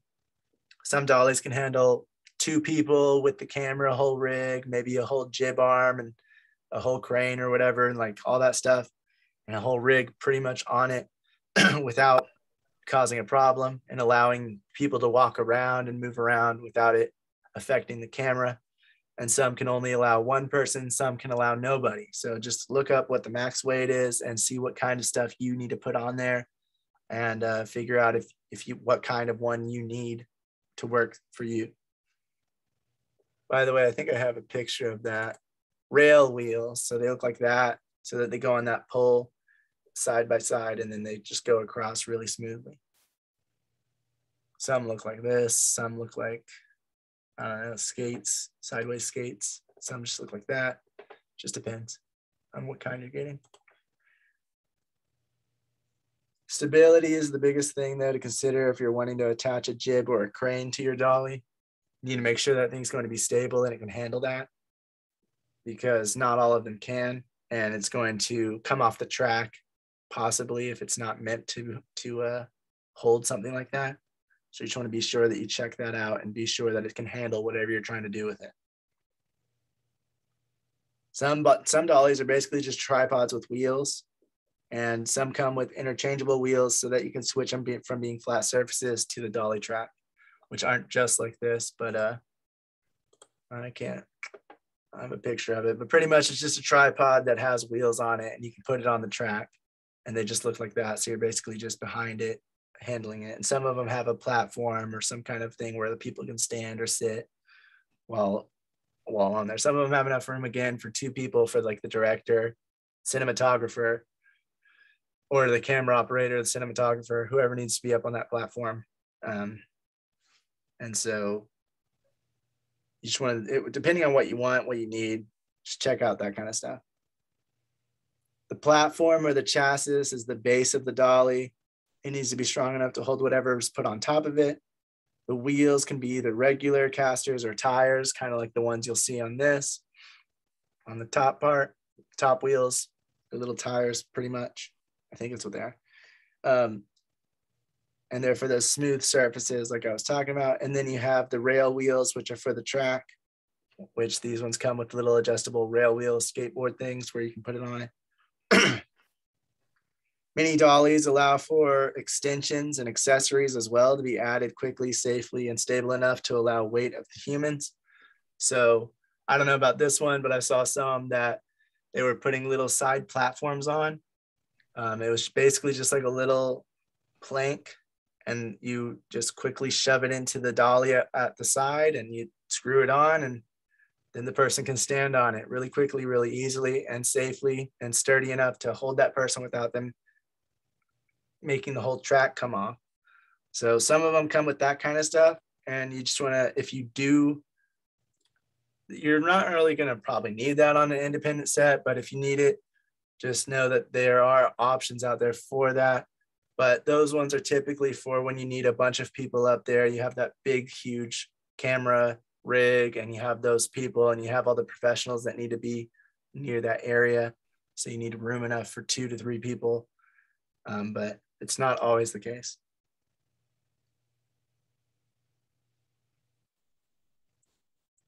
The heavier dollies are usually the more stable. Again, heavier usually means more stable in a lot of this equipment, um, just because it's more weight to hold it down.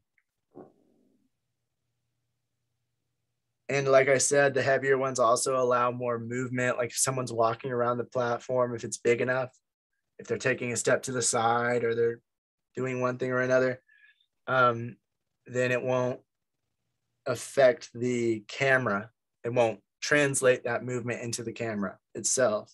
While the lighter ones, if somebody gets up or they move around while the camera things, while the uh, camera's moving, while the jib is moving, not jib, while the dolly's moving, um, it'll cause maybe some shake or some movement in the camera itself.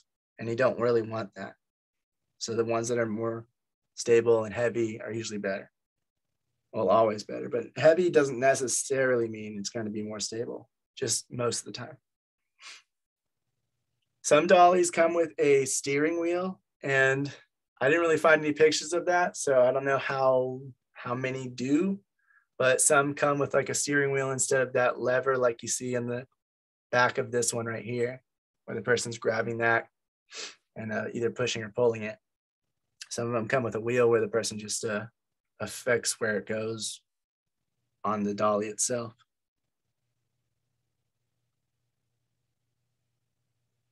Good dollies have really smooth movement and handling so that they aren't jerky when they move.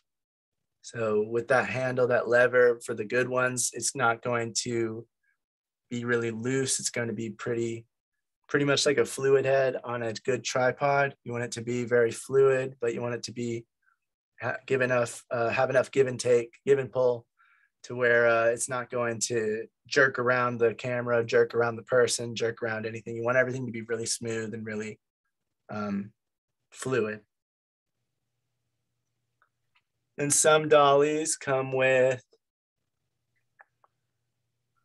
a hydraulic arm kind of like this, and that gives it more ability for vertical movement so that it can go up and down. Of course, those are usually more expensive, um, but it does give that ability to where it can move side to side on the track or roundabout on the track, however you have your track set up.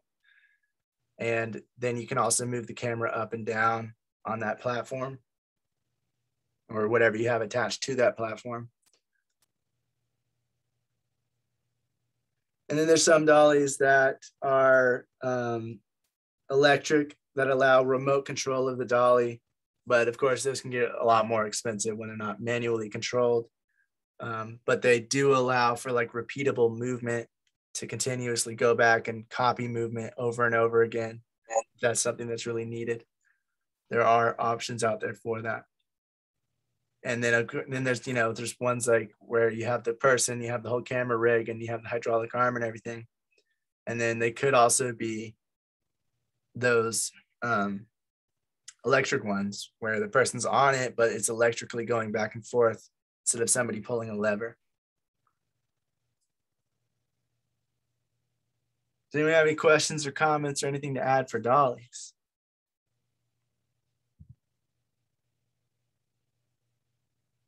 Um, let's see.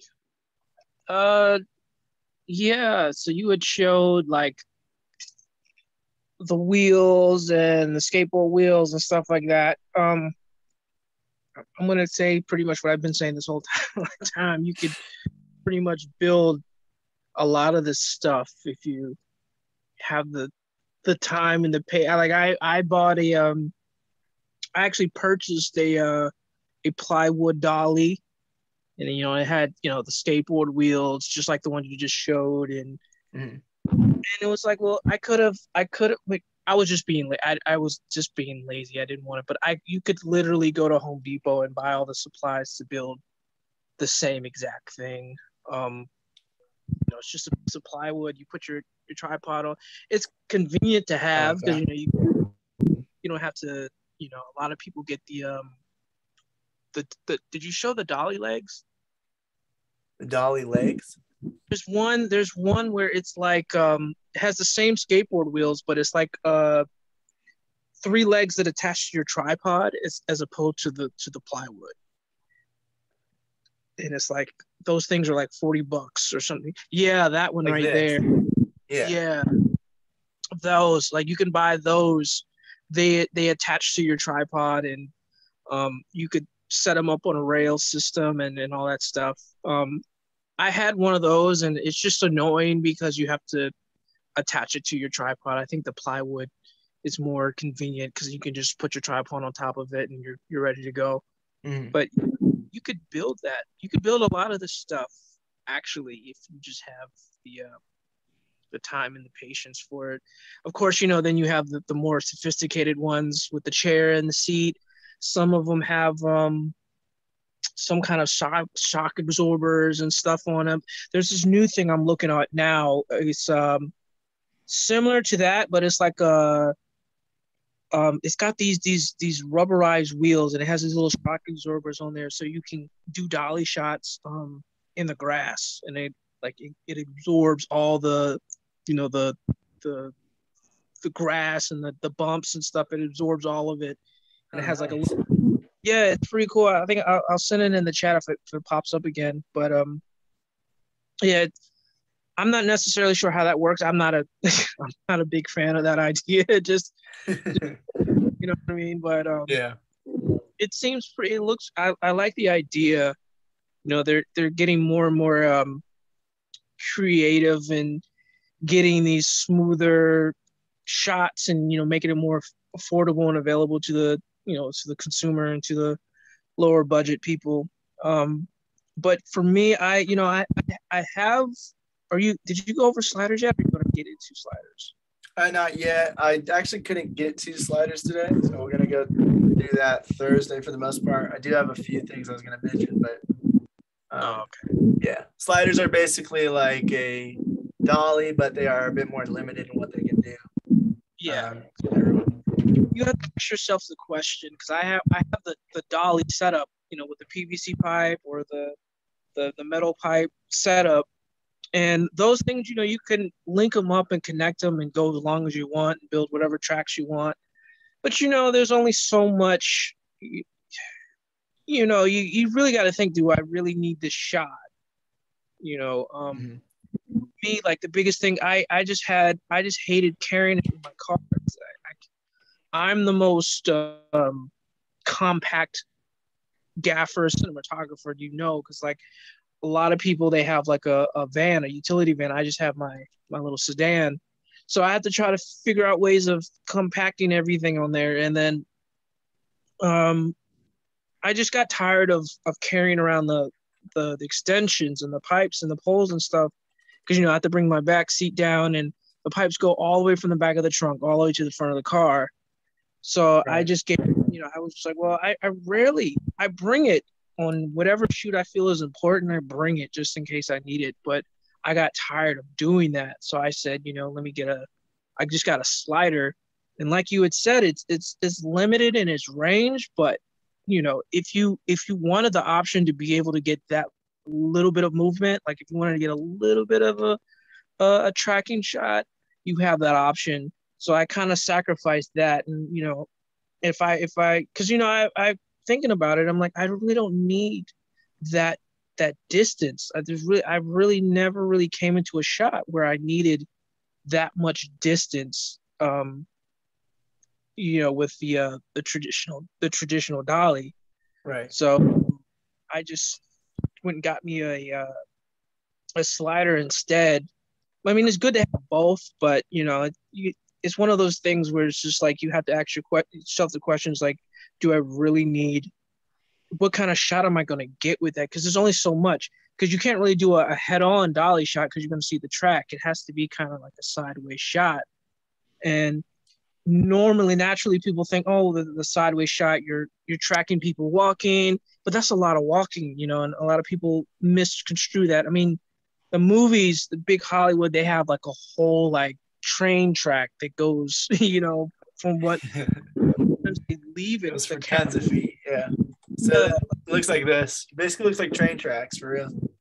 Yeah and if you're not willing to to do all of that and that takes a long time to set up as well so i don't know like for me i i just rather head rather just go ahead and get the dolly. And there's and then you know there's other ways of of getting certain shots like that. Not perfect but um let's just say your character's on a sidewalk or something you could set a mount onto to the side of your car and follow them on your car as opposed to trying to go through all that trying to get all that motion on a track. You know there's different ways of doing it. You just kind of kind of have to ask yourself like you know what kind of shot am i going to need? Is it necessary? One and two um like do i you know do i do i want to go through that pain and trouble doing that? Or do i want to just you know maybe i shouldn't have such a long shot. Maybe i'll just go ahead and get a slider or do something else with it you know? Yeah. But, yeah, definitely. And especially with like the bigger dollies, you definitely want to not do it if you don't have too much of a crew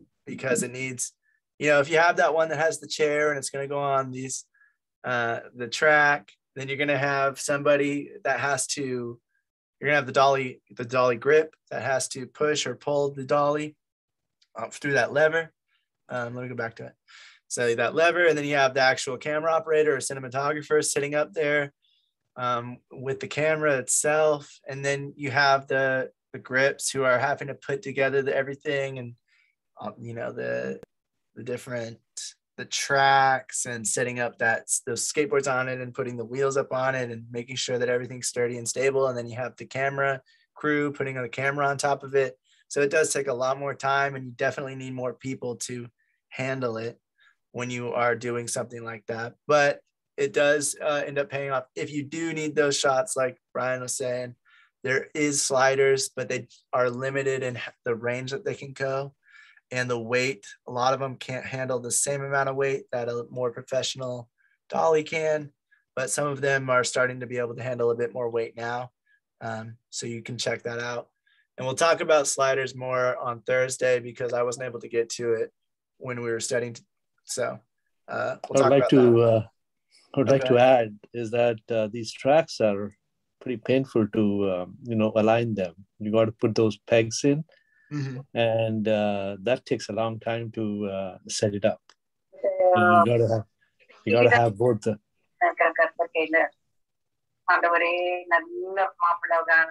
go ahead. what happened? Sorry.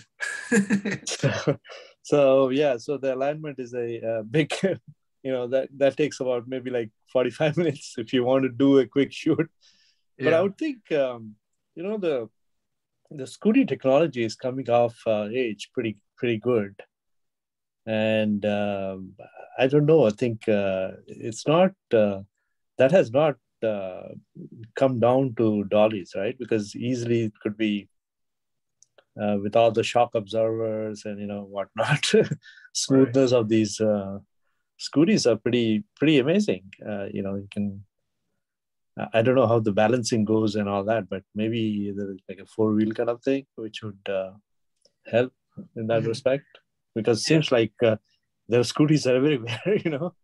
Yeah, right? Yeah, and it's definitely getting better, especially with the more that they are making it for, you know, like cheaper budgets. They're making it for more budget ranges than just the top tier like they used to. So that's right. always and good. these these scooters are even going. I was watching uh, somebody kind of uh, go in the mud road, and it was pretty smooth. Actually, it's not really having any issues with uh, bumping and all that. You know, uh, mm-hmm. which is also amazing. Nice. What uh, yeah but i don't know how you could uh, rig that into a dolly uh, that would be awesome yeah yeah definitely all places another thing um, to think about guys when you're talking about like these kinds of shots and smoothness is there is an option to stabilize footage in post-production.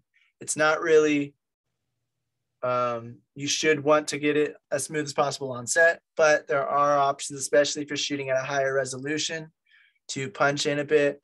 And um, it can like there's some automatic stabilization and then there's some where you have to like kind of manually mess with it a little bit but you can change the framing around just a tiny bit to where the camera's not really looking like it's moving even though it was when you were on set so um, there is that option as well if you don't get the perfect smoothness on set but try go always go for you know the best you can get on set because it's just going to be easier you don't have to rely on editing, but there is that option if you need it.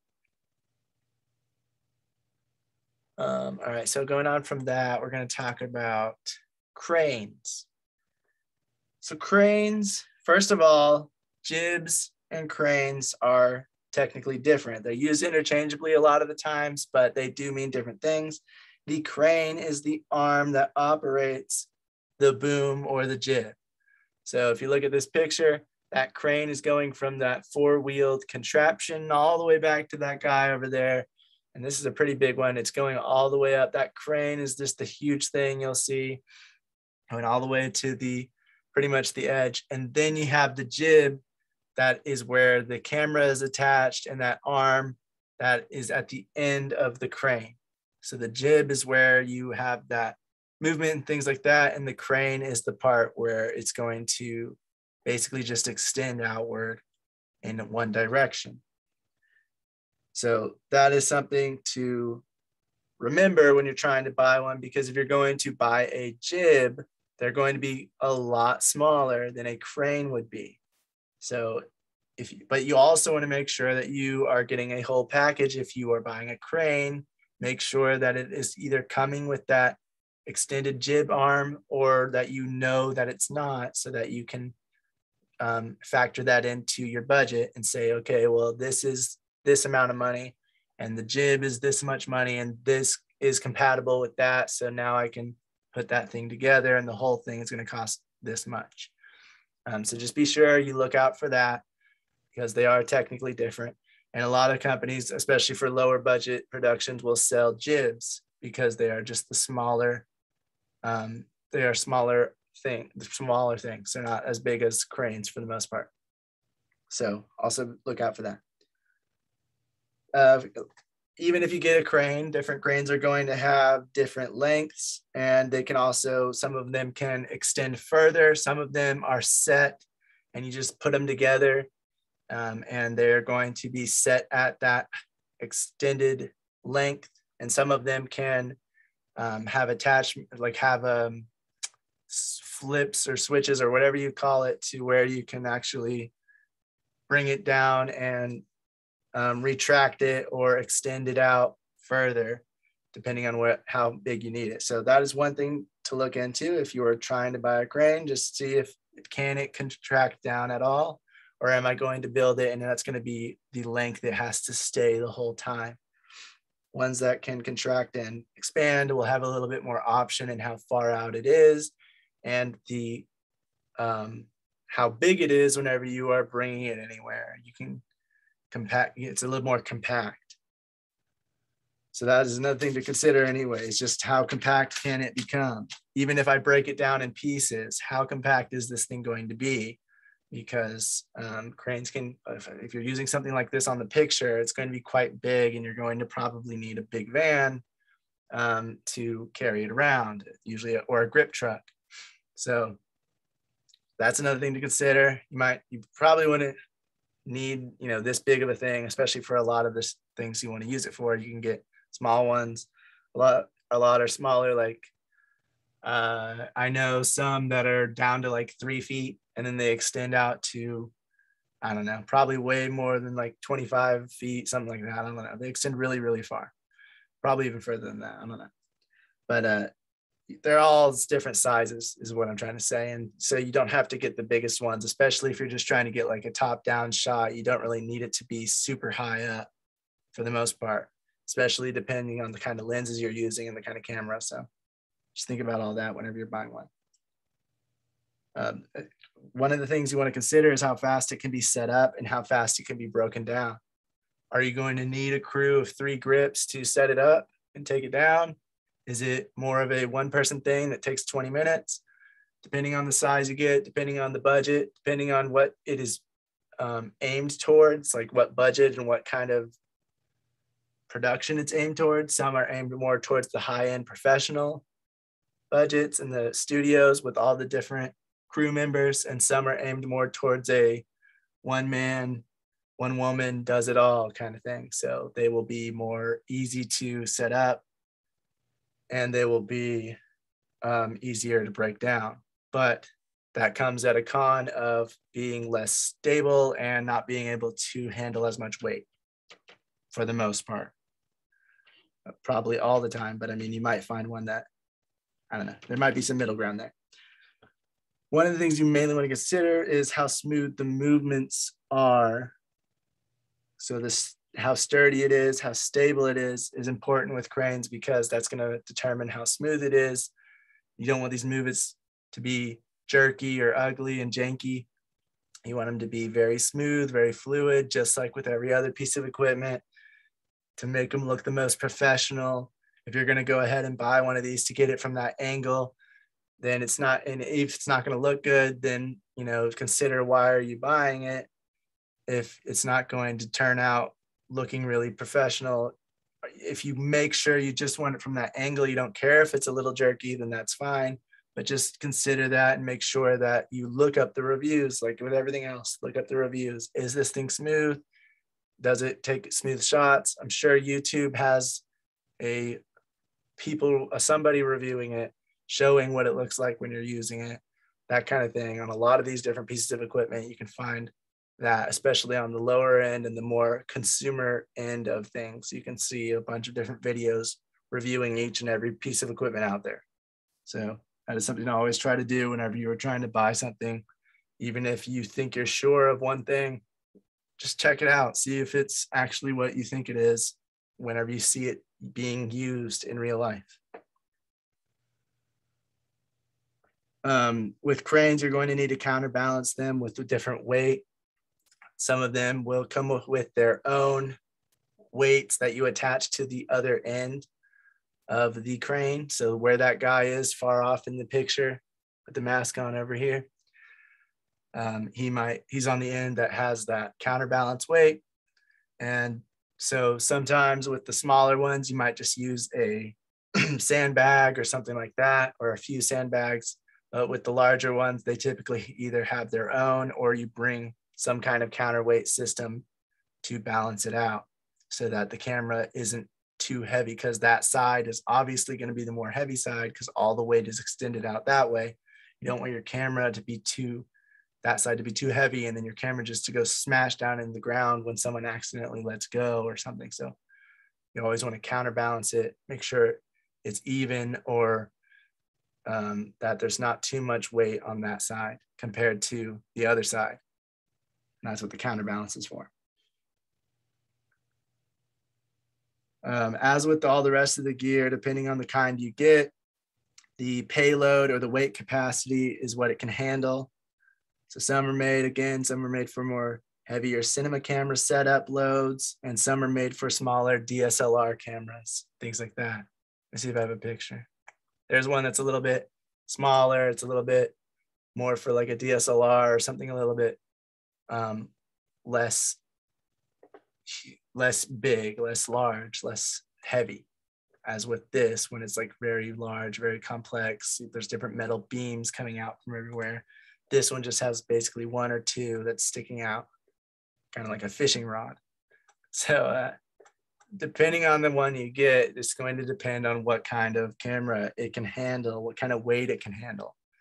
And you just want to look out for that. Make sure that your camera lays weighs less than what it can handle and make sure that there's some buffer room just like with everything else. You want to make sure it doesn't meet the maximum or doesn't come close to the maximum weight that it can handle because you don't want to accidentally go over and then the whole thing snap in half and your camera fall to the ground and everything's busted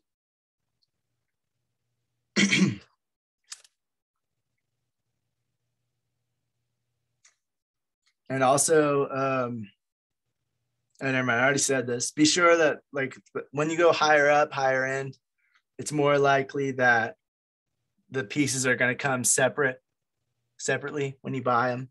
So just keep that in mind. That's pretty much with everything. Whenever there's two separate pieces, like with the C stand and the extended arm, when you go to the higher end of things, they typically sell them in pieces so that you can, um, if you have a favorite extended arm from a different brand or a different kind or whatever, you can buy it separately and you can put it together and customize your own piece of gear. So the higher up you go, they usually sell these pieces all separately.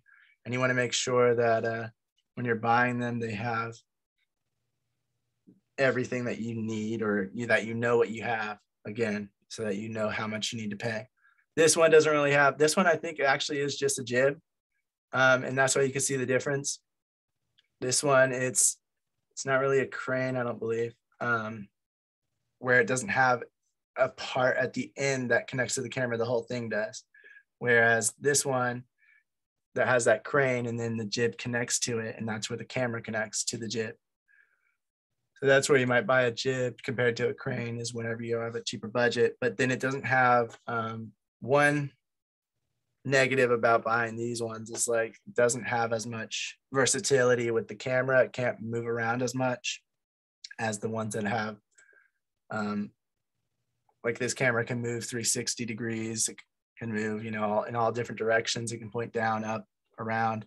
Whereas this one, I think that might have to stay flat or it might be able to like do a little tilt, but it looks like it's pretty limited and, and how where the camera can move. So that is something to consider if you're doing it. You can obviously move the thing around to give it a panning so that you don't have to actually pan the camera. But just with like the bigger, more professionalized equipment, if you're able to, if you have the crew for it, if you're on the budget, all of that, um, they just have more movement it can do where the camera itself can move and pan while you are panning the thing um, or it can you know do a tilt while you're panning while or you can tilt while it's panning and so different movement combinations that it can do to have different looks. Um, whereas these ones can do they just have a little bit less versatility to them. Some cranes are mechanized where it's allowing for those automatic movements. Some jibs are as well. Even on a lower budget you can sometimes get one that's maybe like a thousand 1500 um, for like a smaller jib, but it's mechanized. I bought one from Edelkrone. It works pretty well, but it is really small. It's only like, I don't know, three feet or something. So it's not really that big. It's not really that long of a jib. Um, but it is mechanized. So that is nice. And I can, you can set it up and have it repeat the same motion over and over again. So that is something and with the larger budgets and larger sets they usually have some piece that's usually mechanized so that the person at the one end can press a button and that will tell the camera what to do and which way to face and all of that so that the jib is working with the crane and then they're working the crane while they're working the mechanized part of the jib so that the jib's turning the camera around and tilting it and panning it and all that. And then there's some jibs, I mean, some cranes that have a platform up near the camera where the camera operator will actually sit. And, you know, those ones are obviously a lot more expensive. They are for the bigger budgets and you have to have a camera operator and there has to be a lot of counterweight to it but that allows for the camera operator to be up with the camera while there's somebody operating the crane. So it gives it a little more versatility and a little more uh, options for like manually controlling everything to how you'd like.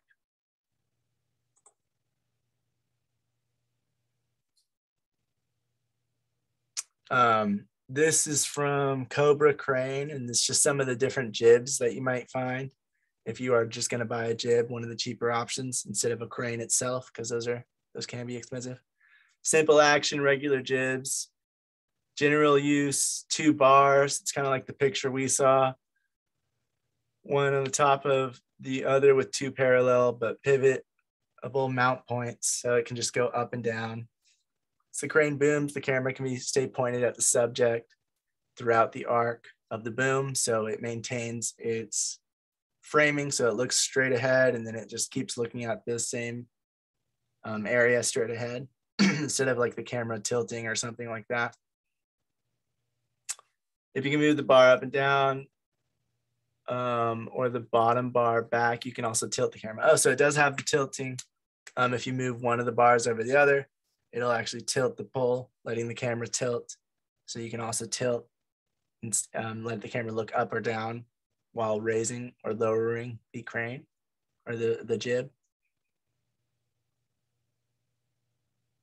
And they say the crane does tend to move when tilted.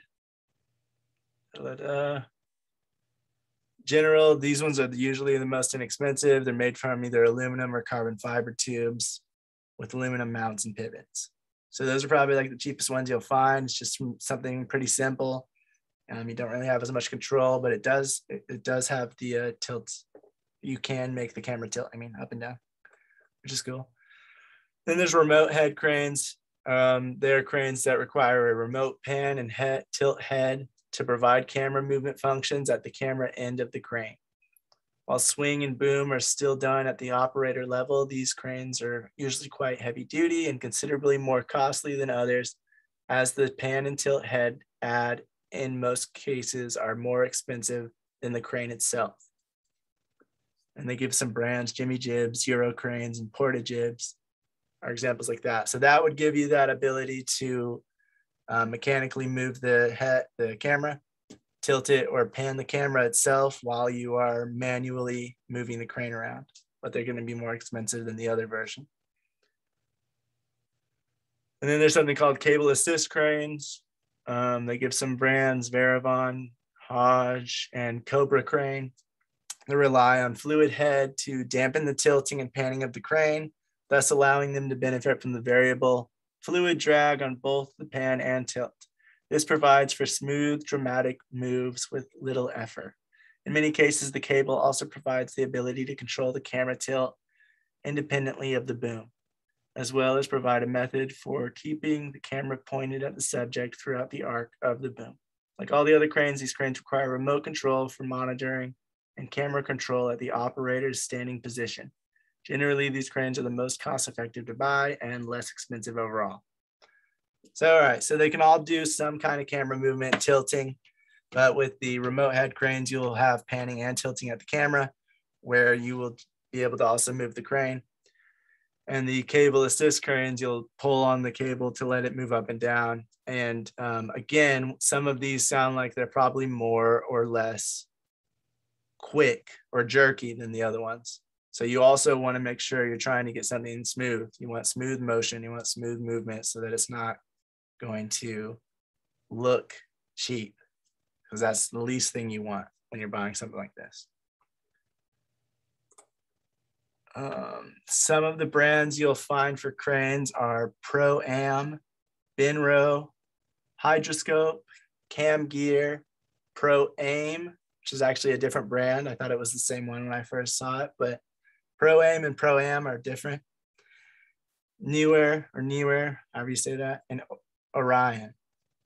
So those are some of the brands of cranes you'll find if you're looking out for one.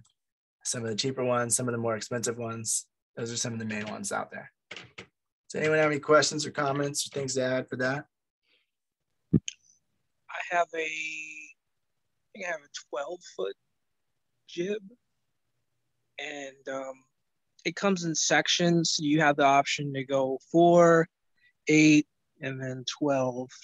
And um, I like. I, I love it. Um, my my only my biggest uh, issue with it is like the ones you just showed um in, in mine um it's like they're they're mainly designed for lighter cameras and, and DSLRs, which is a problem because as I mentioned in a in a lot of meetings that you know we are transitioning we transitioned into the DSLR phase and now we're transitioning into the uh, the cinema camera phase which those cameras are some of them like the Blackmagic, is the Blackmagic isn't that much bigger than a, a standard DSLR but you know once you um and a red a red isn't really that big either but like once you put all the you know the monitor and the the um the battery and all that all the other accessories on there you're, you're talking about a, a camera that's like a good 20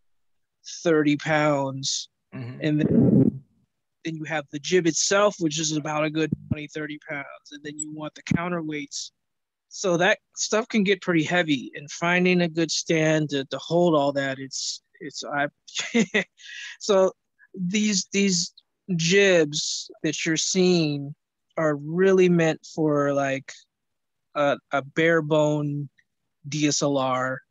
Um, I'm I can like with my jib now I can get away with I'm using I, I can put my Blackmagic on there, but I it's not ideal. So I, I you know I have you know my uh, my Fujifilm which I can put on there as well. And I usually I usually put that on there on top, but I'm kind of just pushing it, like just pushing it, like pushing it to the to the, the to the maximum. Whenever I put my camera on that thing, because it's not. The more indie film ones are definitely going to be for like smaller cameras. And if you want the camera with all the bells and whistles, you're gonna have to invest at some point on something a little sturdier. Yeah, most definitely. Yeah. And then you have to ask yourself the question, um, because like I said before, you know, do you need the shot and do you even want the shot? Is it necessary? And for me, like I definitely for this particular topic, when you're talking about jibs, dollies on the other hand are different because like everybody's accomplishing that shot some kind of way.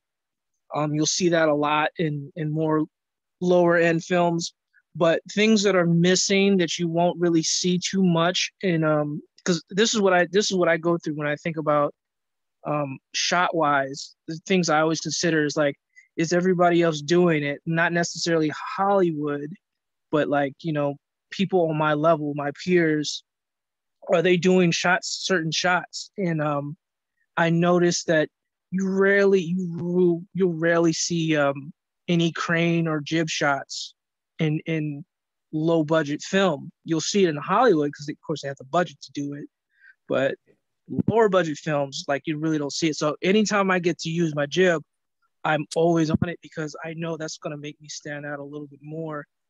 Even though like you know it, it may take some time to, to set everything up, but at the end of the day, I know I'm gonna get a shot that you're not gonna see in um, other you know small production films. So I think yeah. this is this is something that's this is something that I definitely um, think will definitely benefit you a little bit, even if it's just like a, a small, subtle, you know, coming down. You know, it makes all the difference, and it will make you stand out a lot more. Um, and you don't you don't see it in music videos anymore, but th- this was like very big in like '90s music videos. They they always had like the um, the crane shots and stuff like that you'll still see a lot of crane shots in Hollywood. Uh, people kind of get them mixed up with with now we have drone shots and people are trying to incorporate that because that's another thing. Um, I don't suggest using a, dro- a drone to try to establish a shot like that. if you're just gonna go, because there's a big difference between um, getting an aerial shot and an actual an actual jib shot. So mm-hmm. there is a difference. Um, but yeah, it's it's it's just different. I don't know. I, I can't explain it, but it's just a look and a feel that kind of just makes you stand out a lot more than look more professional because people look at it and see, oh, that's a complex shot. It's, yeah, exactly. so yeah, makes sense. So I definitely, I definitely, of all the gear, like something I definitely recommend uh, getting. It's not too many people, not too many low budget or amateur filmmakers go for the jib shot. Not too many. Not only that, but also it all it also benefits you a lot in other ways too. Because you know, once you learn how to use it correctly, you can get all, all other types of shots like um, certain bird's eye view shots from the ceiling. Um, you know, people kind of scratch their heads trying to get shots. You know, when they do the shot pointing down in the bedroom and you know he's laying down on the bed and they're doing it with the cameras up. Most people would just stand like no i just me i stand i hook my jib up for that. But most people would just go and put a tripod on the bed and try to shoot downwards. It's not the best but um yeah there's there's other ways. The jibs the jib is good for a lot more than just those shots. It is it's helped me out a lot. So i definitely recommend getting a uh a jib. Nice. Yeah, that's the piece of equipment. I, I still, like I said, I have my mechanized one, but it's like only three feet, so I don't really count it as uh, if I was trying to get like a top down, it wouldn't really work for that. So it's mainly just for like the little jib up or down movement, but it's not really for like a top down. So I want to get like a larger one, um, something like that top right, or I don't know, something maybe more expensive than that. But but yeah, that is a um, they those types of shots they definitely do look very different than a drone shot. You can tell the difference. Um, drone shots typically aren't they're not usually as smooth and they're not usually they don't usually do as much movement like with tilting while going up or down and having that vertical movement while tilting or things or panning while tilting while doing that vertical move um, do, uh, the drones don't really do can't really do as much of that at once as you can get with a drone i mean with a crane. And with a crane you have more manual control which um, you know can add that little bit of like human human movement to it instead of having just a up down view of like what you would get with a drone going up and down straight. So it is a it is a bit different and it is less smooth whenever you're using something like that. So it is uh, definitely a good piece of gear to have and it ups the quality of uh, whatever it's in for the most part if used right and not used too much. Like with anything, if you're using it way too much, um, it's going to start getting annoying and the the project. So that's something else to consider. Even if you have the piece of gear, you don't want to overuse it to the point where it's just like another sliding shot, another. I have that in the indie scene when it comes to overuse of fog. It's just it drives me crazy. I'm like, ah. Oh, with everything having haze. yeah, the super hazy shots. I'm like, they're not when they don't have a necessity and they're just trying to make it look cool it just makes me want to sigh a little bit. Like. All right, so the next thing we're going to talk about is car mounts. Some car mounts um, are way more sturdy than others. So you have some like this one that are made more for like DSLRs and things like that that can attach to the side of a car with some suction cups and some um, different little poles that extend outward and have a little platform for you to put your camera but you always, this one is the most important to check. Well, I don't know if it's the most important, but it's definitely important to check the weight. Um, because if you're moving your car around, you don't want that to fall off or to break and snap in half and for the camera to fall. The heavier your camera, the more expensive it probably is. And you don't want to put it on something that can't handle it, especially if you're going to go outside and drive it around. So you want to extra be extra careful. Make sure that these things you look at the payload or the capa- the weight capacity, whatever they call it. It's going to be how much weight it can handle and make sure that you are under that. Don't just check what your body, the camera of your body, camera of your body, the body of your camera weighs. You also want to think about when you attach the lenses, the attachments, everything like that. Like Brian was saying, when you attach those extra things to it, they add weight. If you're adding a handle, if you're adding a monitor, if you're adding a lens, all of those have their own weight. You need to add those all up and you need to figure out your actual weight of all your gear that you're going to have on that system and make sure that it is under that payload, under that max weight. But uh, so some of these, there are actual like, there are some lower end ones that just have one suction cup and that suction cup holds the camera. Um, those you typically wouldn't put on the side of the car. You might just put it on like the hood to look into the window, the, the uh, windshield. So there are those, you just want to be careful. You all, again, make sure that those can handle the weight of whatever camera you're using with all of its gear and all of its attachments. And then there's ones that are a little bit more heavy duty like this that can go on the side of the car. There's some that can go on the front, on the hood, um, that have like larger suction cups and have a little bit more of a stability. There's um there's this is like a rigged up thing. This is where you want all these clamps to come into play and where you have all these straps and really you really want to have some people who know what they're doing with grip um, so that they're not going to damage this car. They're not going to damage these cameras. None of this stuff's going to fall and break apart all of it's going to be stable and work for whatever shot you're going for. This is the kind of thing where grips really come in handy when they know what they're doing because they can set up these really uh, difficult to set up tr- tr- like uh, contraptions pretty much these little these uh, they set these all up they make sure it's all tight secure safe and that it's not going to go anywhere that the car is not going to get bent in um, nothing's going to start damaging the headlights or the hood and crushing it down. Everything's going to be secure, but it's not going to be weighing too much on the car itself because it's putting more weight on those side rails, on those side poles that are coming off the side of the car. Because uh, I think it's like suction cups or plates that's attached, and then they have a strap going around that, and then the poles coming up off that from both angles, and then they have the um, the dolly track pretty much. Or maybe they're going to just stabilize that and have it in one area but then they have the little poles coming out of there where you might have like those extended arms from a c stand coming out there and attaching to both those cameras.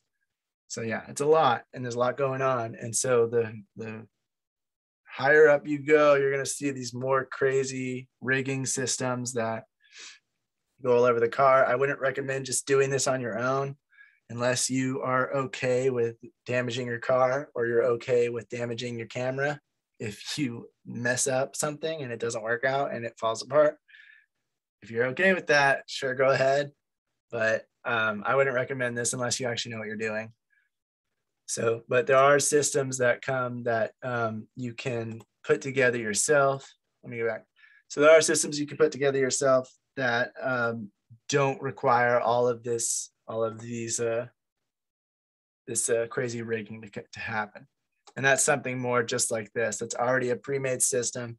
You just use the suction cups, you follow the instructions, you make sure that it's doing what it needs to do and that it's secure, and then you put your camera on it.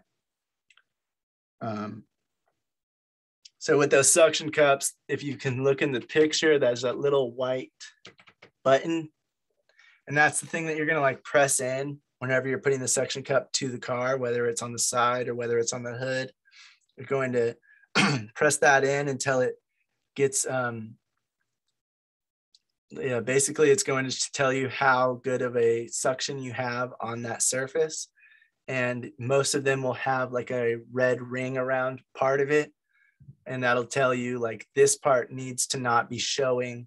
And then if it's not showing, that means you have a good suction here if that thing pops out and all of a sudden there's that red ring showing, it means that suction is not good. Um, it's a little more loose than you would like it to be.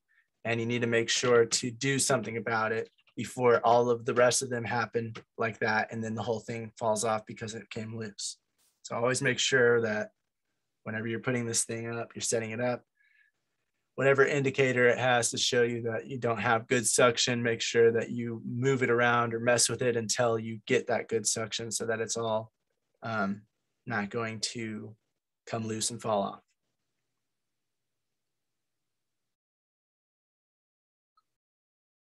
Um,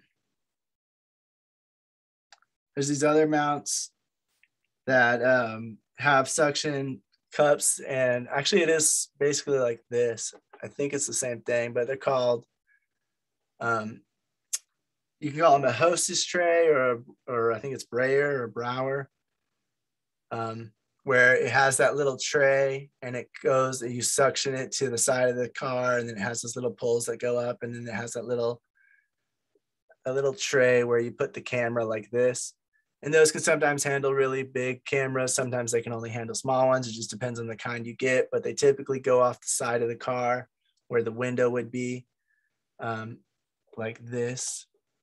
And they attach either like that with the suction or more, they extend out like the one we saw just a second ago. Where was it?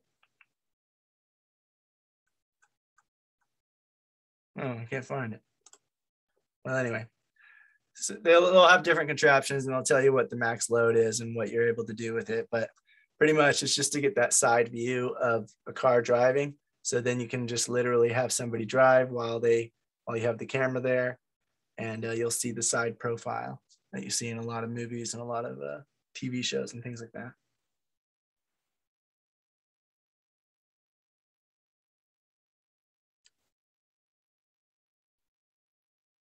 On a larger set, you might have an actual car specialist that does the rigging for these cars.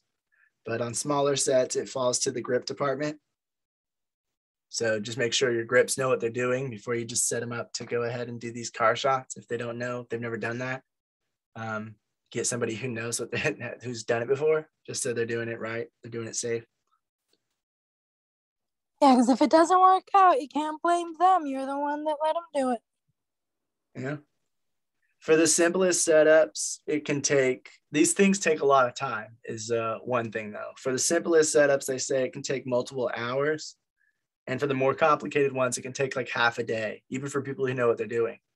So, um, you want to make sure you schedule in that time and you give your grip crew enough time to prepare that rigging and make sure that you try to pre-rig it get it done before you need it. That way, when you're on set, when you're doing it, when you're shooting, you're ready to go, and everybody's not sitting around waiting on the uh, rig to get complete because you'll be waiting around for quite a while.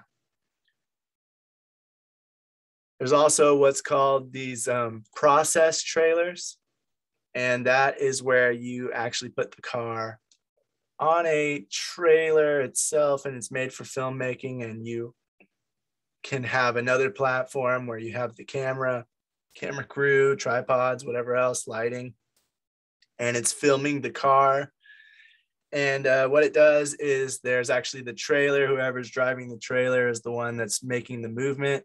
So the actual actor doesn't have to drive, or there's not a green screen behind the car making it look like it's driving, or a projector, or whatever they use on those um, cheaper budgets to make it look like the car's moving when really it's stationary. This, you can actually move the car around. It looks like the car is moving itself, but really the person's not actually driving. So it's a bit safer.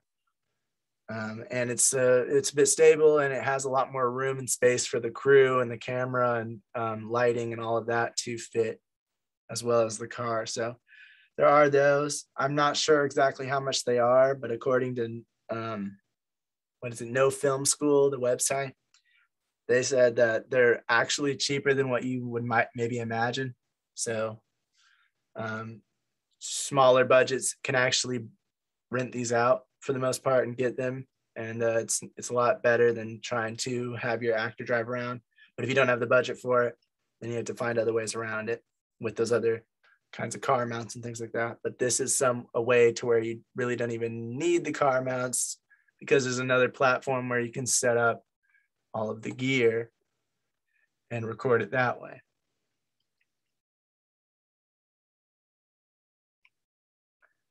Um, another thing you might see is um, a separate car that actually has the mounted camera rig on it that's filming the production car. So what we were seeing before, like with these pictures, is uh, that's if you're filming the character, you're filming the actor that's in, you know, in frame, um, and it's attached to the car of that actor. But there are multiple times where they will just have a another car that has the whole rigging and a jib or a crane coming off of it that um, is shooting the production car so that they can see it from all angles and they can move the camera around freely. Um, so that is another thing that they do, but that's typically on larger sets or on more professional uh, productions. And that's typically when they, you know, block off the whole street or block off the whole block so that they can uh, do whatever they need to do for their film. Um,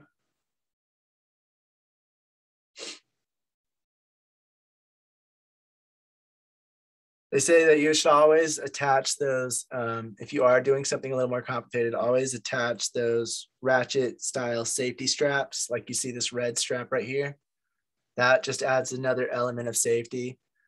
If you've ever pulled a trailer or if you've ever brought something in the back of your trunk whenever your trunk can't close because the thing's too big you'll know that they say to just use these to lock it down in place and to give it some extra safety so it doesn't fall out same thing with this kind of thing. You don't want it to fall over you don't want it to fall off. So these straps will help give it an extra buffer of safety and an extra bit of uh, security so that it uh, stays stable and stays on the car.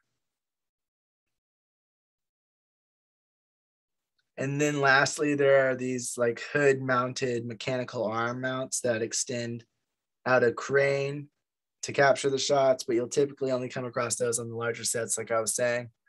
Um, I don't know if I have a picture of that. No, I don't. Let me see. It's going to be a Porsche. What? I said it's going to be a Porsche. I don't know why but usually when they do that, it's always like a luxury car for some reason or Audi. There it is. the guy was showing on his Lexus. Yeah, I have no idea why. Like they can't just get a, a Ford Explorer or something or something. It's a big cool car, man. Like I yeah, there's also these like more, you know, these big ones that go on top of the hood, and then you have the the crane extend out, and you have the camera and all of that. But again, that's only seen more on like. They need it to be a car that way they can, they can get go, they can get more and more crazy, and they need a car that can handle that weight and that can handle that extra.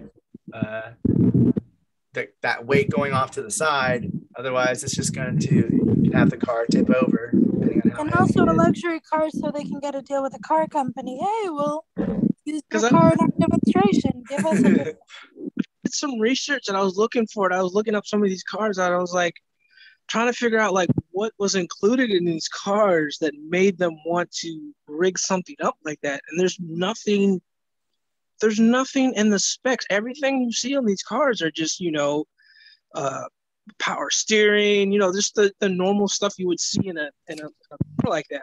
Like there's yeah. nothing strong, so much stronger. They wouldn't be able to use them on regular cars, and they do.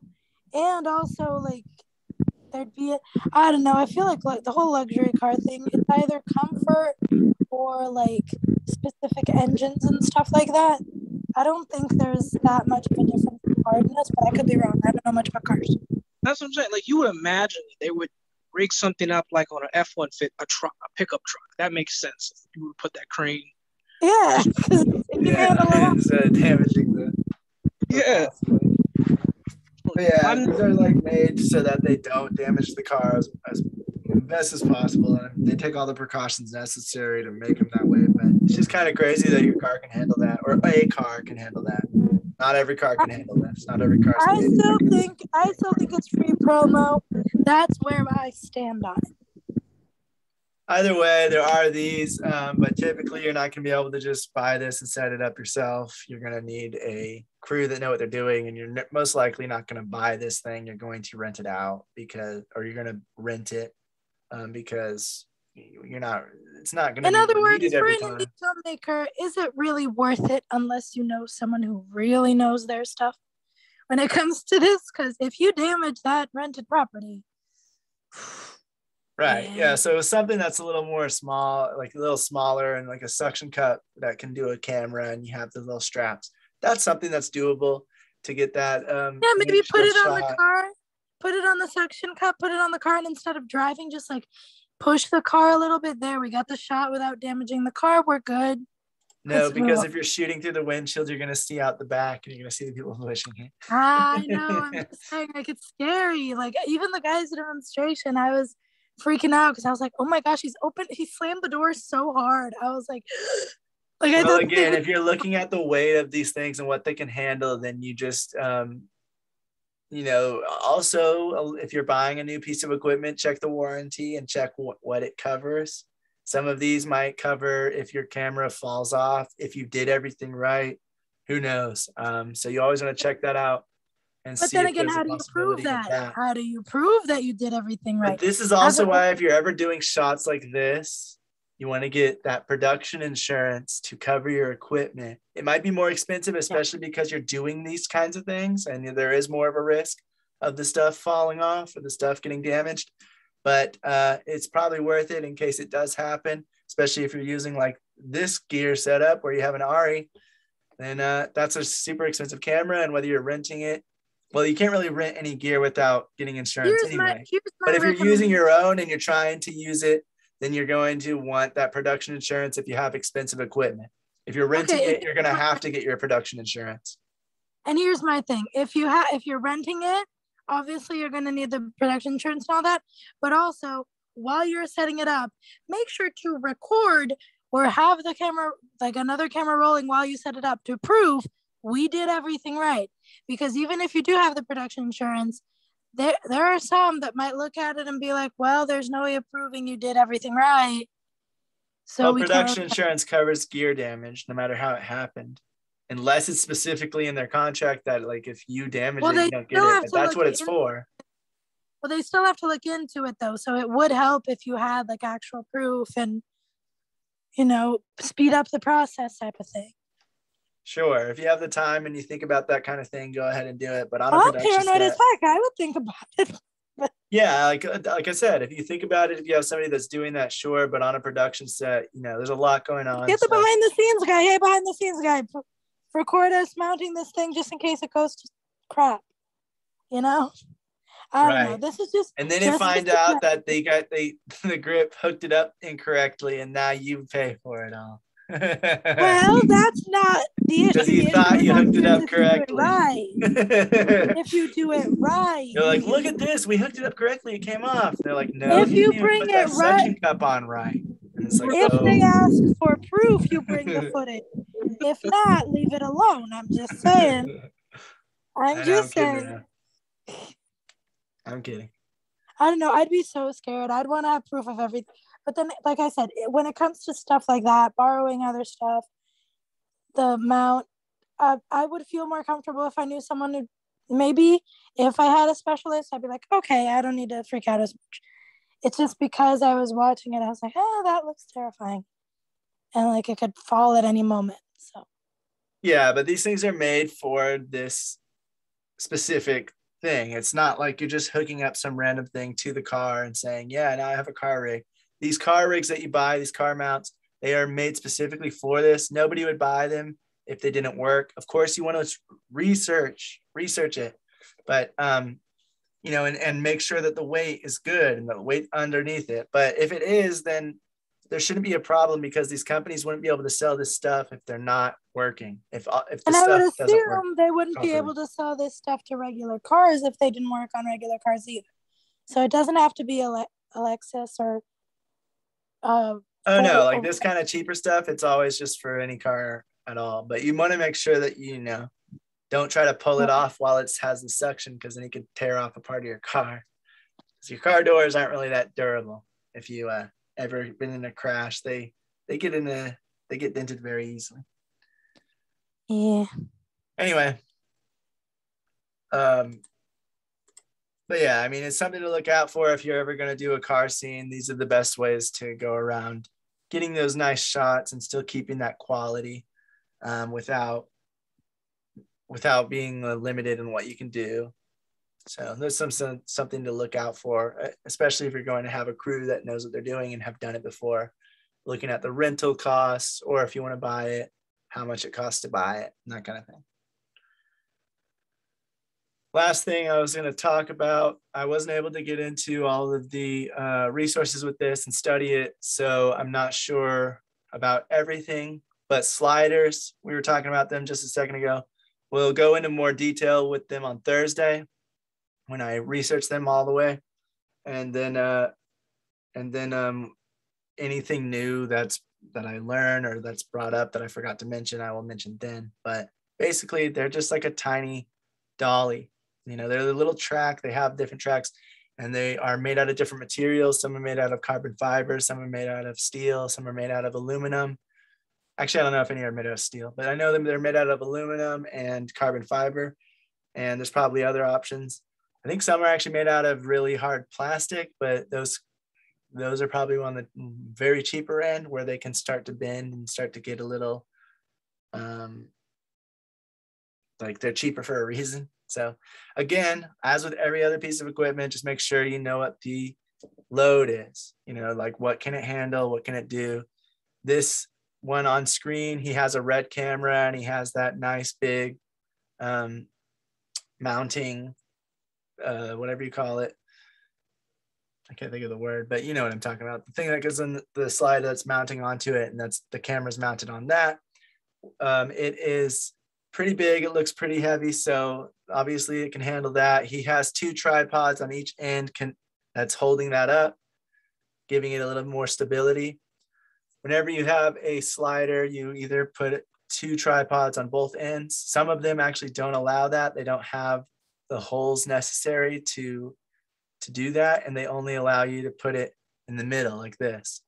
Now this one actually, I think it has those holes at the end where you could put two tripods. They just have it set up like this. Um, but some sliders that you get are only going to allow you to do the middle section. Um, and it is just a little less stable because once you bring the camera over to the each edge, it starts to lean and it starts to get a little more unstable. So you want to make sure you put those sandbags on these tripods that you're using whether you have two or one. Put the sandbags on, make sure it has the most weight and stability it can, because once that camera, especially depending on how heavy it is, once it gets to the other end or one end or the other, um, it'll be the least stable that it can be at that moment um, until you bring it back to the middle where it'll be the most stable. So one of the things you want to think about and look look for when you're talking about sliders is the same thing you want to look for when you're talking about dollies. How smooth are they? Do they make a lot of noise? I know my slider, when it gets to the middle, one I had, I bought a new one from Neewer, but and it works pretty well. But the uh, the other one I had from Edelkrone, I bought, it was a me- mechanized one. Every time it gets to the middle, it hits the wheels of the the middle part, and so it like comes like does a little uh, bump every time it gets to the middle, and so it's not really that smooth. Kind of crappy when it gets to the middle. I bought it used, so it could just be the person didn't take care of it.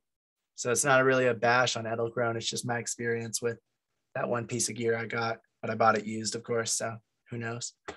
Um, but with the with the other sliders, you just want to make sure that they are smooth, that they aren't going to have that kind of problem when it gets to the middle or the end or the edges. How stable is it? How much weight can it handle?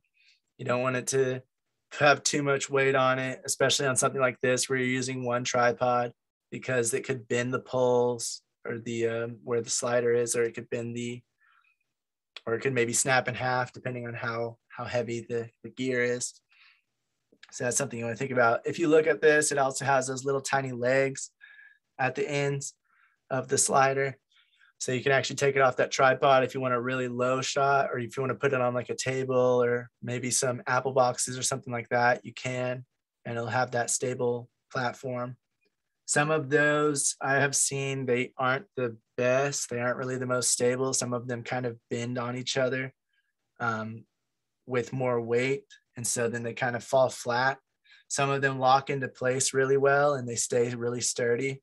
So that's just uh, something you want to look into if you do want to get those really low shots or something like that and you want to do a slider across the ground then uh, you want to make sure that those little legs are going to be good for it because you don't want to buy it and then realize that they're not going to work the way you thought they might um, the let me see well the other thing is just like the materials it's made out of carbon fiber is obviously going to be lighter which means it's going to be easier to carry around, but it's also, and it's still sturdy. Carbon fiber is known to be strong. So it won't be as heavy as aluminum or something else, but it'll still give you that same sturdiness. I think from my experience, it is a little bit less stable. It is a little more, it bends, it has a little more give, um, but not too much to where you'll uh, notice a drastic um, difference. The best ones I would say, and the best way to set it up is always to have two tripods on each end if you can. So I would always recommend going for one that has that can attach to two tripods or two light stands to each end. That way it just has the most stability. Um, and that way it's not relying on the middle to hold the whole thing up like it is in this picture right here. Some of these, like the Edelkrone one I was talking about, do are are uh, mechanized, where you can have a battery and it um, moves it um, automatically. You can set it up to do the same movement. There's other brands out there that do the same thing, um, and some of them are manual, like the one he's holding. I actually I'm not sure about this one, but I know for sure this one is manual, where you're gonna have to actually manually move the camera yourself. So if you really want to make sure that the camera is doing the same movement for the entire shot, um, mechanized is the better way to go just because it's going to automatically adjust the camera based on the timing you said for it to start here and the timing you said for it to end there. And it'll automatically move it the same speed throughout unless you tell it to go faster at a certain part. Whereas there's uh, room for a little bit more human error whenever you are doing a um, manual slider. But of course, the manual ones don't need batteries. So that's always a plus because having extra batteries and needing, you're going to not just want one, you're going to want one or two or three, making sure that you have some extras so that if it runs out, you can put another one in and keep going so you don't ruin your whole production day. With the manual ones, you can just keep going no matter what. So uh, manual wins in that. But um, it just depends on what you want and what you want out of it. Pretty much, they're going to do the same thing. They're going to be like a dolly shot. You can put them front to back and have a little bit of a, a forward or a backward movement, a dolly in or a dolly out. Or you can put them side to side like he's doing and have a tracking or a trucking shot, following your subject just a little bit or just going around them or revealing something on the other side of their head or a lot of people will use these to start out behind a post or something, and then they will reveal the scene by simply sliding it to the left. So they're a lot quicker to set up than dollies. You don't have to set up this track separately, and you don't have to have this huge contraption that you're putting together. And then you don't have to have as many crew members handle it. You can have one person or two people put this whole setup together. Especially if you're just using it on the ground, you can just do it with one person. They just grab the grab it out, put it on the ground, and then put the camera on it and boom now they can uh, control it if you have uh, if you want to move really quickly and efficiently then you want to have probably like your first or your second ac help out. The camera operator or the cinematographer and they all just kind of really quickly set this up where they have like the two tripods the slider and then the camera and then boom they're ready to go. Um, but or you know you have grips and things like that to help out as well but um, these are just typically a lot faster than than dolly tracks. Dolly tracks take a while, and like like uh, Vish was saying, like Brian was saying, they take a lot of uh, concentration and they to make sure that you get it right. When this is just pre-set up, the limitations come in to where you can't curve the sliding at all. You, it's going to be straight. It's going to either be straightforward or straight. You can put it at a diagonal angle maybe, but it's not going to have that curve that you can get whenever you do a dolly track. Dolly tracks, you can set it up like a train pretty much, and you can do it any kind of, you can make S's, you can make circles, you can do it straight. You can make it look like a little tiny uh, roller coaster, having it go up and down in little bumps. That's what you can do with dolly tracks compared to sliders. Sliders are going to be straight and they're going to be just um, two dimensional, or I mean, I guess a little bit three dimensional if you're going front to back, but it's really just going to be in those those uh, single fluid movements. Um, can't really think of anything else. Brian or Vish or anyone, you guys have anything to add to to sliders? I mean, uh, we'll get more on Thursday, whatever I forgot to mention. Not sliders, but I'd like to go back to the, the car mounting shots. Um, keep bringing this up. you have to, like I said, you got you have to ask yourself the question: Do I need this shot? Do I want this shot? Um, the car mounts, just like I said with the jib, they make all the difference because, like I said, a lot of amateur film you'll see like they'll do the uh, the camera on the passenger side seat or the uh, behind the driver behind the passenger shot you know but if you have a nice you know setup outside the car looking in that kind of adds a lot of production value to your shot but i am with priscilla i do not trust those suction cups not one bit I don't at all. I don't care how much money you spent on them. I don't care how don't trust it. So they don't look very sturdy. I'm sorry. Like it just feels like I'm a. But um, yeah. So for me, like I've actually risked my Blackmagic. I've actually set it up, but I did have to take it apart, like take all the battery and everything off you know, just make it as light as possible just to eliminate, you know, them hitting a bump and it goes flying all over the place. Uh, yeah. You also have, I also have a secondary DSLR, which I feel more comfortable putting that on there than I do my actual Blackmagic. So it's just, it's just a good thing about finding a good, you could find a really good B cam to match your A cam. And for shots like that, where you're risking the the stability and the you know the safety of your camera, you could just go with the B cam and put that on there instead.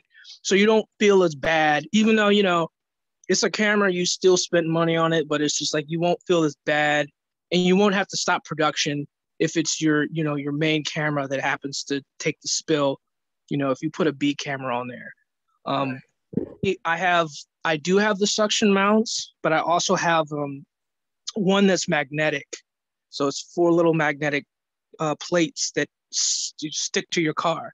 I feel a lot more comfortable with those as opposed to the um, the suction cups. if I use the suction cups, I'm just like getting all these ropes and stuff to making sure it doesn't fall anywhere. but I feel more comfortable with the um, they do make um, magnetic ones, and then you also have the option um, I know Hollywood does this a lot where they put the car on a trailer and they'll rig the lights on the trailer and they'll rig the camera on the trailer as opposed to rigging it to the car. And then, you know, the trailer will be hooked up to a truck and the truck will just drive around the block. And then I think Lakota, did you say something like that as well? Like the actors won't even be, they'll put the car neutral. Yeah, the process trailer. Yeah, they'll put the car in neutral. So that sounds really expensive it's not as expensive today as it was back in the day. Um, they do make these. Um, they make a hitch where it's like the front of your car, like it'll pull the front of your car, and you could rig up the side and just pull the car around on a on a like on a pickup truck. You know, you would rig it on the back of the truck, and the car itself is like the wheel. It's in neutral, and then the truck will pull it. So they do make there is more ideal options um, for kind of going that route. Like if you want to go, I've never done it. Um, I know somebody else that has, and it looked pretty cool. Um, but then again, like regardless if you're using mounts or regardless if you're rigging a trailer up or anything like that, you still have to go to the pro go through the process of finding a uh, smooth road because regardless of you know what your setup is, if you got a lot of potholes and stuff, it's just not gonna look good at all. So you have to find a, a nice smooth road to do it on, regardless. Right. And then, uh, well, there is another option. Um, there was a guy that I was watching uh, one of his videos, and he had a lot of um, exterior car shots where you know the cars were like zooming in and out, and they were doing these crazy things. He had taken a drone and he had mounted it onto the trailer hitch of his car or his SUV. And um, you know the drones they have a little gimbal, so he he said he had his wife drive, and and you know he was on the the phone with the the other drivers of the car, and then he was in the passenger seat, you know, controlling the gimbal remote. Mhm. I thought that was pretty cool, and I thought that was pretty effective. Like um, kind of similar to what you were showing with the uh, uh, that really expensive car with the um, the crane on top of it. He was getting he was getting shots like those. I mean, he wasn't being he was he wasn't able to go up and down, but he was able to pan. I like this. Oh wait, I like that. Yeah, I believe uh, the you know there is uh, this option in the drone where you can ask it to just follow you, Yeah, there's that too. Right. and yeah, you there yeah, the car uh, you can if it's following the car is like you know or maybe uh, preceding the car, you can probably get a good shot. Mhm. I thought that was. I, I'll show you the video the guy sent me, but I asked, I was like, "How did you get those shots?" He's like, "Yeah, I just, I just um, duct taped the drone to the hitch of, my car, and you know, because the drone has a gimbal on there, he was able to left and right, get all these other cool shots and stuff." And I was like, "I never thought of that. I thought that was cool because normally when I do shots like that, I always have um, my mount. I'll put, I'll put the mount on the trunk of the car, and I'll be on the phone, and then you know, I'll give the you know order speed up, slow down, go left, go right, you know, this, that, and the other. Mhm. But you know, it's kind of just stuck there. You know, the camera, I can't move the camera because the camera's on the back of the trunk. But to be able to be able to pan left and right, or you know, tilt up and down is like a big thing. So I never thought about that. Yeah, But that's another of the, of the Interesting. I won't. e- I probably won't even fly the drone. I'll just use it to, to get these car shots on the back of the trunk. yeah, yeah, that is pretty cool. But yeah, that's a that's one thing I wanted to bring up to everybody. Anyway, it's just like you guys don't. I know we're talking about gear this semester. We're talking about all these different pieces of equipment, but like Brian keeps bringing up, don't think you need the most expensive thing. Don't think you need every single piece of gear. Um, I just wanted to go in depth for each piece and just so if anyone is wanting to buy these things or just so you know what's out there, just so you know you have the option for this or that, or there's a specific case of use for these different scenarios. But you don't really need every single piece of gear. You can get a lot done with different pieces of gear. A lot of people um, will use, like like he's saying, a drone for different things now, and you can really start to get creative with the way you get shots done, and you can still make them look nice. You can still make them look good. Same thing with lighting and like using reflectors and using negative fill and using outdoor locations, but using the sun as your light and then just natural light, but but shaping that natural light with diffusion and um, reflection and um, negative fill. Same thing with gear. You can always it's more about your ingenuity and how you get it done compared to like what kind of gear you have and if you have the best and the most expensive gear and don't ever be feel restricted by what you don't have. Try to figure out a way to get around it around how you can get that same shot done or how you can get that stuff done by um, just being creative with it and, and coming up with a way to get it done without that gear because you're not always going to be able to have or afford every single piece of gear. Even if you have the even if you have every single piece even if you can afford it you might not have the time or the space to bring every single thing um, that you need. So that's also something to consider. It's just like we're talking about gear but don't think you need every single thing. It's just this is what's out there. This is what you can get. Um, and there's going to be different price ranges. There's going to be different use cases. There's going to be different things and different reasons to need or want this stuff. So Um, that's something I wanted to mention, which I think also goes into tips for advice for low budget. Somebody said that, but uh, that's something that I just wanted to bring up again. Um, I forgot to mention that some of the brands for sliders that you'll come across are Rhino, Manfrotto, or Manfrotto. I think it's Manfrotto, Rat Rig, uh, Moza, GVM, Zekti, and Neewer. So those are some of the brands you'll come across. Um, some of the more uh, higher rated brands or more common brands that you'll come across if you're trying to look for a slider. All right.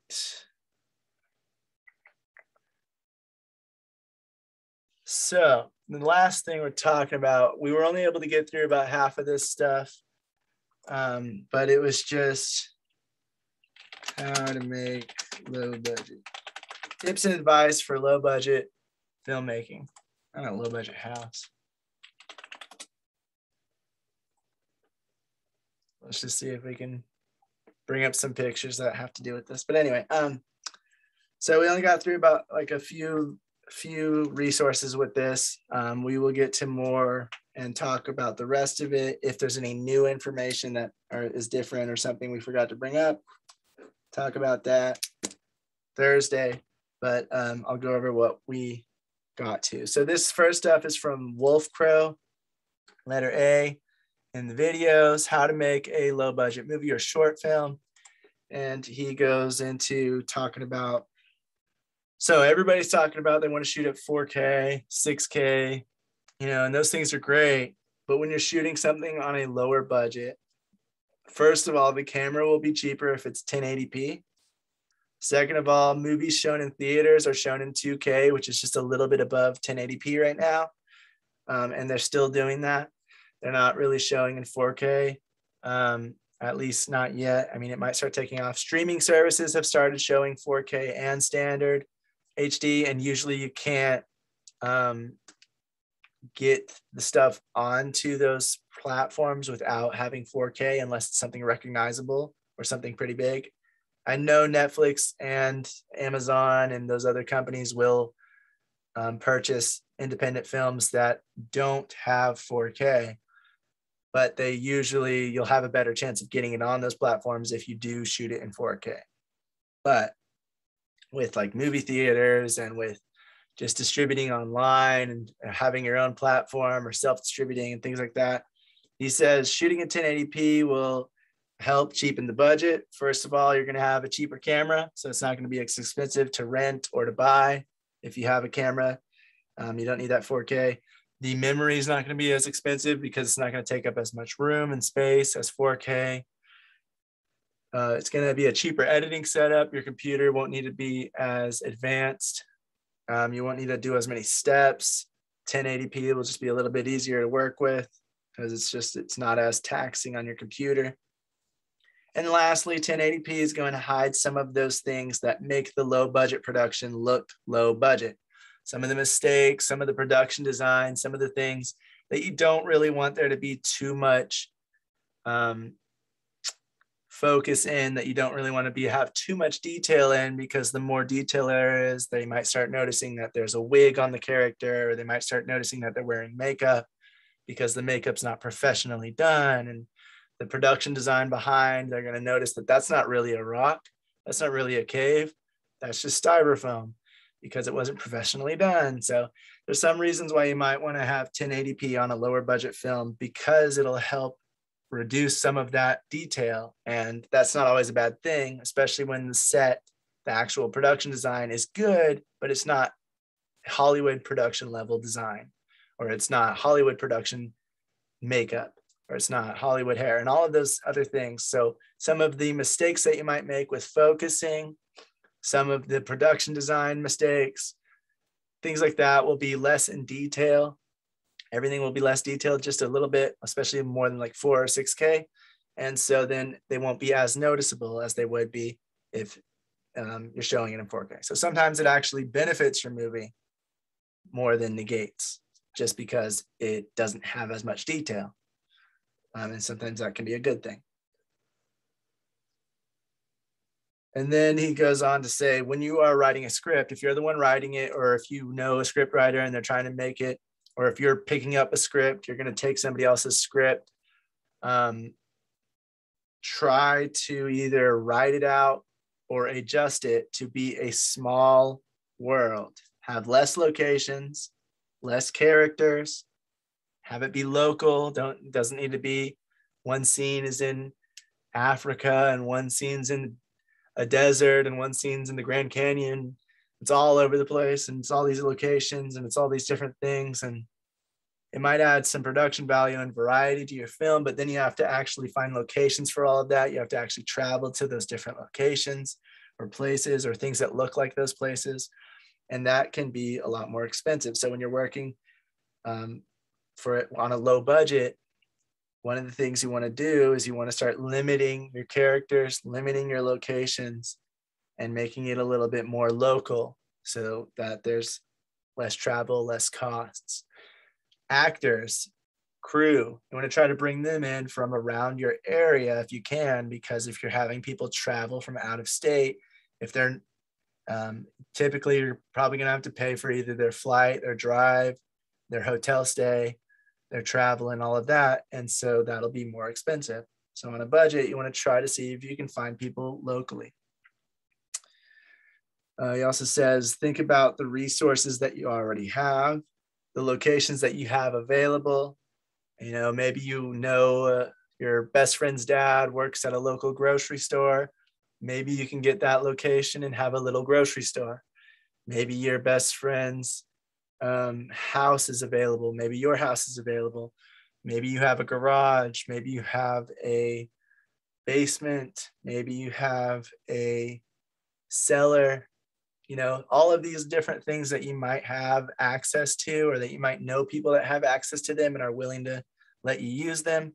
Things that you want to think about whenever you are um, looking into making something is some stuff you already have available locations especially because that will really cheapen that cost. If you then you can start maybe even if you don't have a story yet if you already know what kind of resources you have if you know the kind of locations you have um, you can start writing around those locations maybe and then the story's more reflected in that location and maybe it'll stand out more anyway.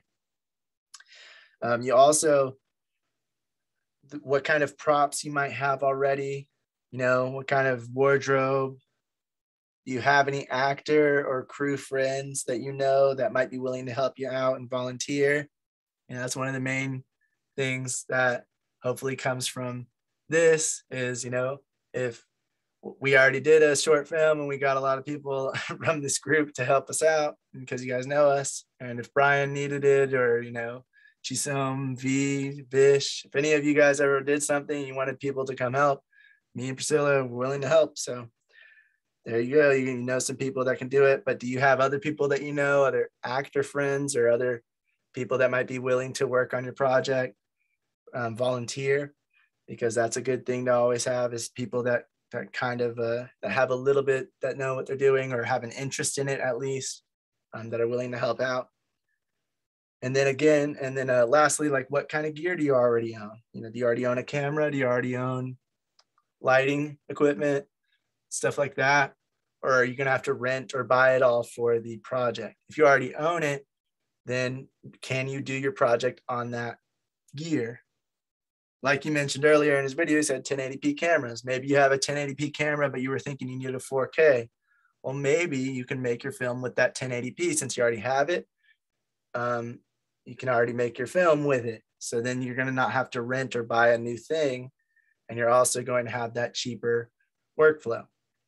It's not necessarily ideal, especially when everybody wants 4K now, but it does help cheapen that budget and make it a little bit um, anywhere you can cut costs is better, especially when you're working on a very low budget. So just think about all the resources you have available and think about what you can do with those resources and what you can make out of it possibly again especially when you're writing your script he says you want to think about these things you kind of want to reverse engineer the whole thing instead of writing your script doing the schedule and the budget and planning around that you kind of want to think about it backwards, as in, what do I have available? And then write a script around what you have compared to writing a script and then getting things based on what that script entails. So it's kind of the backwards way of doing it, but it does really make it a lot cheaper to get it done. And it makes the story really reflect and involve the things that you have available to you already. So it um, it isn't really cutting anything out of the script. If you're at the script stage, it's a great way to start working on it, get creative, and figure out how can I use this space. Again, if you have a basement, it could be you could turn it into a bomb shelter or something, and then you can make a whole story around that. But um, or you could just turn it into something about a basement. Somebody's getting, you know, trapped in a basement. Somebody got tied up and put in a basement. There's a killer. Any kind of thing that you can think about with a basement. Somebody's having a party, whatever. It doesn't matter, but you, as long as you're like thinking about that while you're writing the script, it'll just it'll come across a little more. I mean, we created an interrogation room in a basement, and that worked. So yeah. Sometimes, if it's of just one room, you can convert that area of the basement with some wallpaper, some lighting, like we did. You know, mm-hmm. uh, put it put it, some furniture in there. You can transform it into different kinds of rooms. Exactly. So that's the first thing that if you're writing your script out, or if you haven't written it yet, or you don't have an idea, or you have maybe an idea, um, think about the resources you have. If you know it's going to probably have to be low budget, just because, you know, you might get creative and come up with a better story than you would if you just made whatever kind of story you want anyway. And you might make it more personal and more uh, character driven, even depending on how limited you can get with the characters and locations then the uh, characters will be paramount compared to big action movies where they have the or the big uh, fantasy that might have the scenery be the main thing or things like that. So on a lower budget, you really want to think more about story and character than the scenes and the scenery and action pieces because those are a lot more expensive to do. Um, oh, and he brought this up, so that's where I got it. Well, I already knew about it, but don't get bogged down by the gear you don't have. Be innovative, use what you can, and be creative. Um, and then I added, I thought of some things that you know I've seen people use: white trash bags or T-shirts for diffusion. You don't have enough money to buy a, a professional diffusion material, white trash bags or T-shirts or a white sheet can work. Black trash bags in place of duvetine or something that you can cover the windows and block out light with um, using a shirt or a towel and a camera on top of a table and dragging it across. You have the uh, towel laying on the table, and then you put the camera on top of it, and then you just grab the towel and you pull it forward, and you it's a dolly move.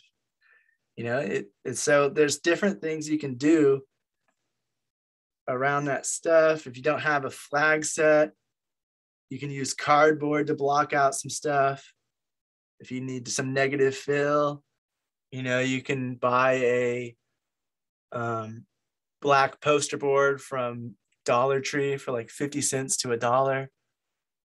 If you don't have a reflector, you can buy another white poster board from Dollar Tree for a dollar. There's all these things you can do to really make it cheap. It might look a little janky, it might look a little ghetto, but these things can still work if they're done with time. If you think about it, if you put thought into it, ingenuity and creativity, you can make some really great looking stuff with really cheap stuff. The stuff around the frame doesn't matter. It doesn't matter how ugly the set looks. What matters is what this final shot looks like.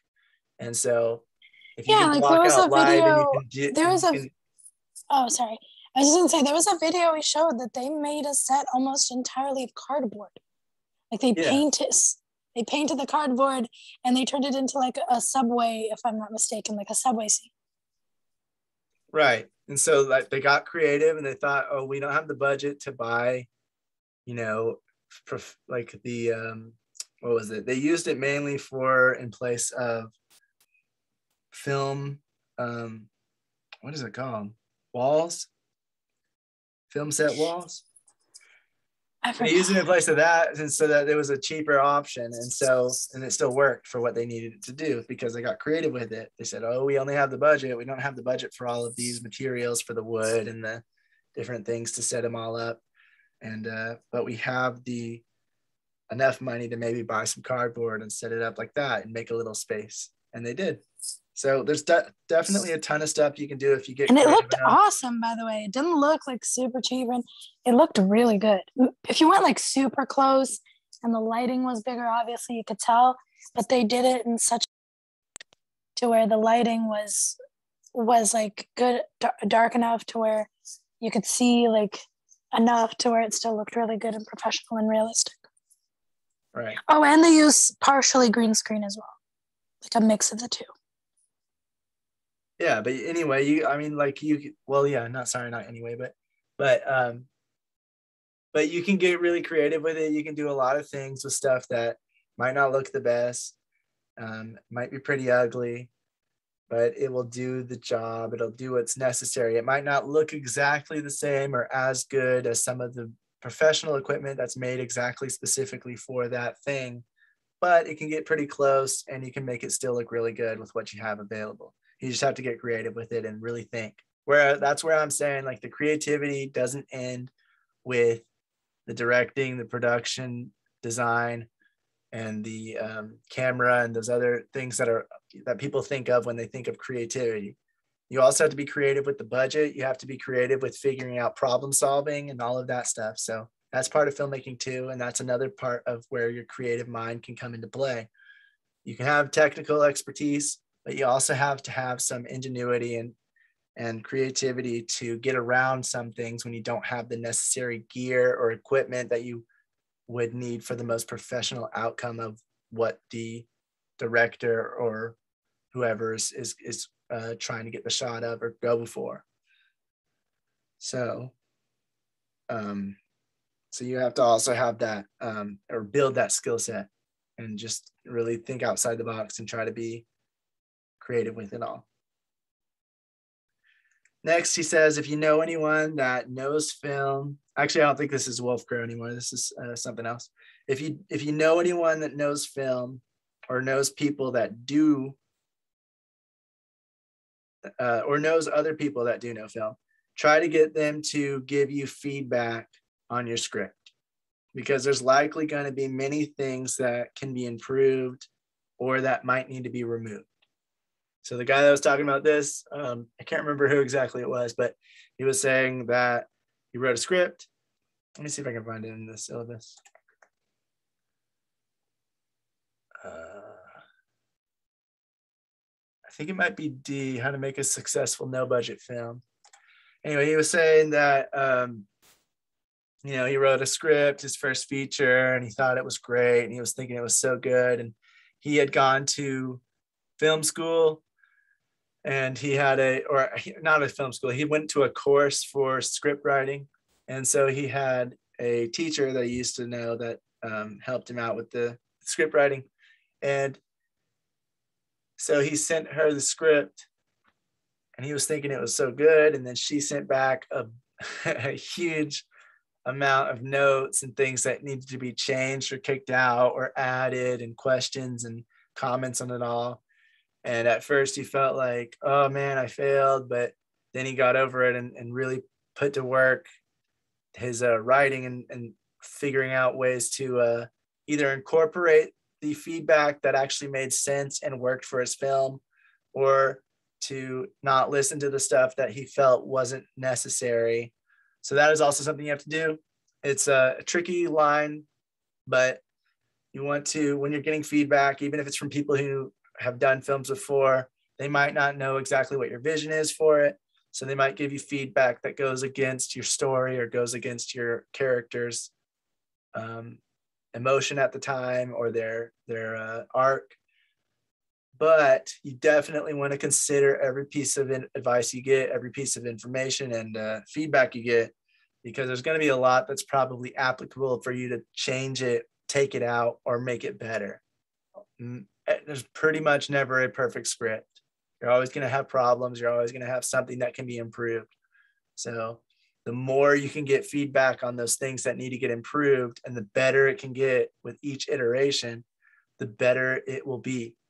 And so you want to always get feedback and not just film it right after you write it. You want to do a few drafts of it, even though it takes more time. And I would say, if nothing else, it's always good to practice that um, ability of being able to detach yourself from your work enough to look at it from a critical lens or allow someone else, a third party, to look at it and objectively and take that criticism objectively. Because it can be like i've mentioned many times before it can be very easily it can be very easy for us to take it personally because it's something we created and it's very personal to us and we wrote it with a specific vision and thought in mind. So sometimes you have to be able to see okay if i didn't have that idea already in my head would it still make sense? And that's where the third party comes in. And detaching yourself being like i still care about the story that i'm telling but i can accept that it's prob like the writing of that story might have some some things that might need working on or or i can be open to listening to that critique objectively listening to it and actually applying it or seeing if it applies to my work and saying yes or no to it. I feel like just because we film in a it can also be art doesn't mean that it can't be improved doesn't mean it's not also work that can be done in multiple drafts can, that can have a critical eye you know just because it's a form of self-expression doesn't mean it can't also be viewed critically.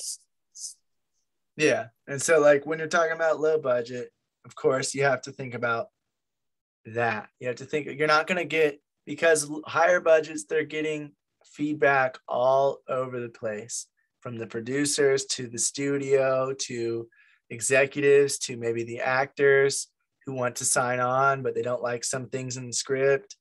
And there's all sorts of people that give input where the script might need to have changes. And so that usually is for the best. Sometimes in huge studio productions, depending on what their main goal is, whether it's money or actually going for the story, um, sometimes it can be bad. Yeah, I was gonna say, I feel like the bal- the hard balance is knowing when to put your foot down and be like, you know what, I see where you're coming from, but I've made the necessary changes that I think I'm gonna stick with this. Because fi- do, it's a hard line. Yeah, no, definitely. Because like there's there's because some because you don't want to be you you don't be arrogant about it, but you also want to be able to be firm in your ideas. Right, because some things people just aren't going to get until it's actually created. But yeah. but um, I was going to say you also try to want to get uh, multiple feedback from different people, so that way if everybody comes back to you with, I don't get why this character is doing this in this scene, you don't brush it off. If one person says it, and you say like, well, they didn't know what that character was thinking at the moment. But if everybody's giving you that same feedback, then you got to go, okay, I got to change something in this scene or the scene prior to make this make be more clear because it's not coming across. Yeah, because sometimes one person won't get it, but the other will. The other thing you want to think about when you're talking about lower budgets is the less shots you do means there's less setup and there's less time um, there's less time for you to set up, which means that you're going to have more done each production day, which means you'll need less production days total. So, see if you can combine some shots and things like that. If you have a really tight budget, you want to try to do, you might have some longer shots. It might not be ideal for the attention span that you want to go for because you know everybody only likes to see something for three seconds or two seconds and then move on. But sometimes you just have to cut these corners when you have a low budget because the extra setups, when every time you change the camera around, you're gonna have to change the lights. Every time you change the lights in the camera around, you're gonna have to set up everything. Every time you do that, it's going to be more time. And so um, you want to try to see if you can just do the fewer shots, you can get that same emotion and scene across, the better. You know? So think about that. The more rolls you do, you can do, um, the less crew you might be able to get away with. So you'll see this a lot on lower budget productions where the director is the producer is the maybe the cinematographer and the script supervisor you know they're they're or they don't have a script supervisor. They're just the ones over continuity. They're kind of having to do everything. They're the editor. And that's just because they don't have enough money or don't know enough people that are willing to volunteer and so they kind of have to take those roles upon themselves, which is another reason why I think it's good for everybody to learn a little bit of everything. That way, if you have to, you can take over that specific thing and do it. And that'll save you a bunch of money. Also, one of the options you might want to go for is opting for black and white, black and white film, black and white cinema. It's a way you can cut down some of the time and costs since you don't have to worry about color temperatures for lights or the times of day because they're not going to really change too much as much as they would if you see the color of everything changing. Like when the sky starts turning orange and uh, or when it's really like when the sun's straight above. Now the light is still going to come across in black and white so that is still going to be something to consider but it won't be as noticeable as it would be in color. So some people actually opt to go for black and white just because it's a lot cheaper and it's easier to work with. Production design doesn't require as much, at least not color wise, um, as much typically because you're not going to see the colors. So as long as it's coming across in the different shades of gray, you're good. And it might look a little more realistic, who knows, because it's not as noticeable. There's not as many different things you're seeing. So again, it's like taking out that detail from 4K to 1080p, taking out the detail of color. Um, you know, it might not be the best option for everything, especially depending on what you're going for, but it definitely is an option that a lot of people will go for to try to get their um, film done for for cheaper. And another thing is using natural light as much as you can if you are able to, if it works for your story, because that's a way that can really cut down setup time and gear costs. So you don't have to rent or buy as much stuff. You don't have to have the negative fill and the well you still have to have negative fill. You don't have to have the production lights um, and things like that but you want to shape the natural light with negative fill reflection and um, diffusion. So those are all some things to consider and think about whenever you're trying to make a, a film on a low budget. Depending on how low budget you go you want to try to get people that you know that are local, less places, less locations, less characters, make a more contained story, a more contained world. Don't have to travel all over the place, things like that. And um, less, of, I would say less effects heavy, you know, less specific things that would need like special effects makeup or visual effects or CGI. Things like that are going to be really expensive if if you want to make them right.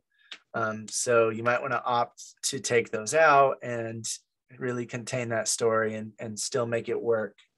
The emotion and the story should still be there. Uh, you just have to work around some things that you wanted for your dream picture of it. Um, so those are some things to consider. That's all really I had for that for now. We'll get into the rest of this Thursday um, if there's any new information that wasn't mentioned just now. But basically, the main thing is just don't be, don't feel, um, don't feel like you have to make your movie worse because you don't have the budget. Just get creative with figuring out how can I still make this with the budget I have? How can I get around this thing? And how can I use the gear I have and the locations I have and the people I know? To really make something great.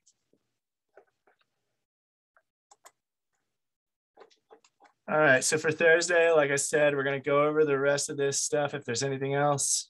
Um, and we're also to talk about light stands.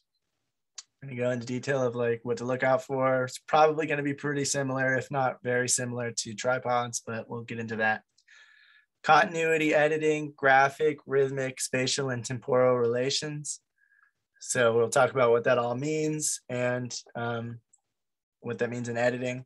And the last thing is end credits. you know, what are the rules? What are the unsaid and I mean unspoken and spoken rules for credits? Who goes first? And all of that kind of thing. We'll talk about that stuff all Thursday.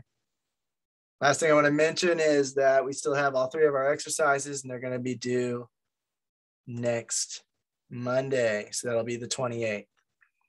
Next Monday, we're going to be doing those three exercises as well as a few other things, but um, a few other topics that we'll go over on that day, but it's really just something quick. The main thing is going to be seeing those exercises. So whoever wants to do those, be sure to have them done Monday. All right, I think that's going to be everything. Appreciate it, everyone. Have a good night. Good night, everyone. All right. See y'all on Thursday. Yep. See you then.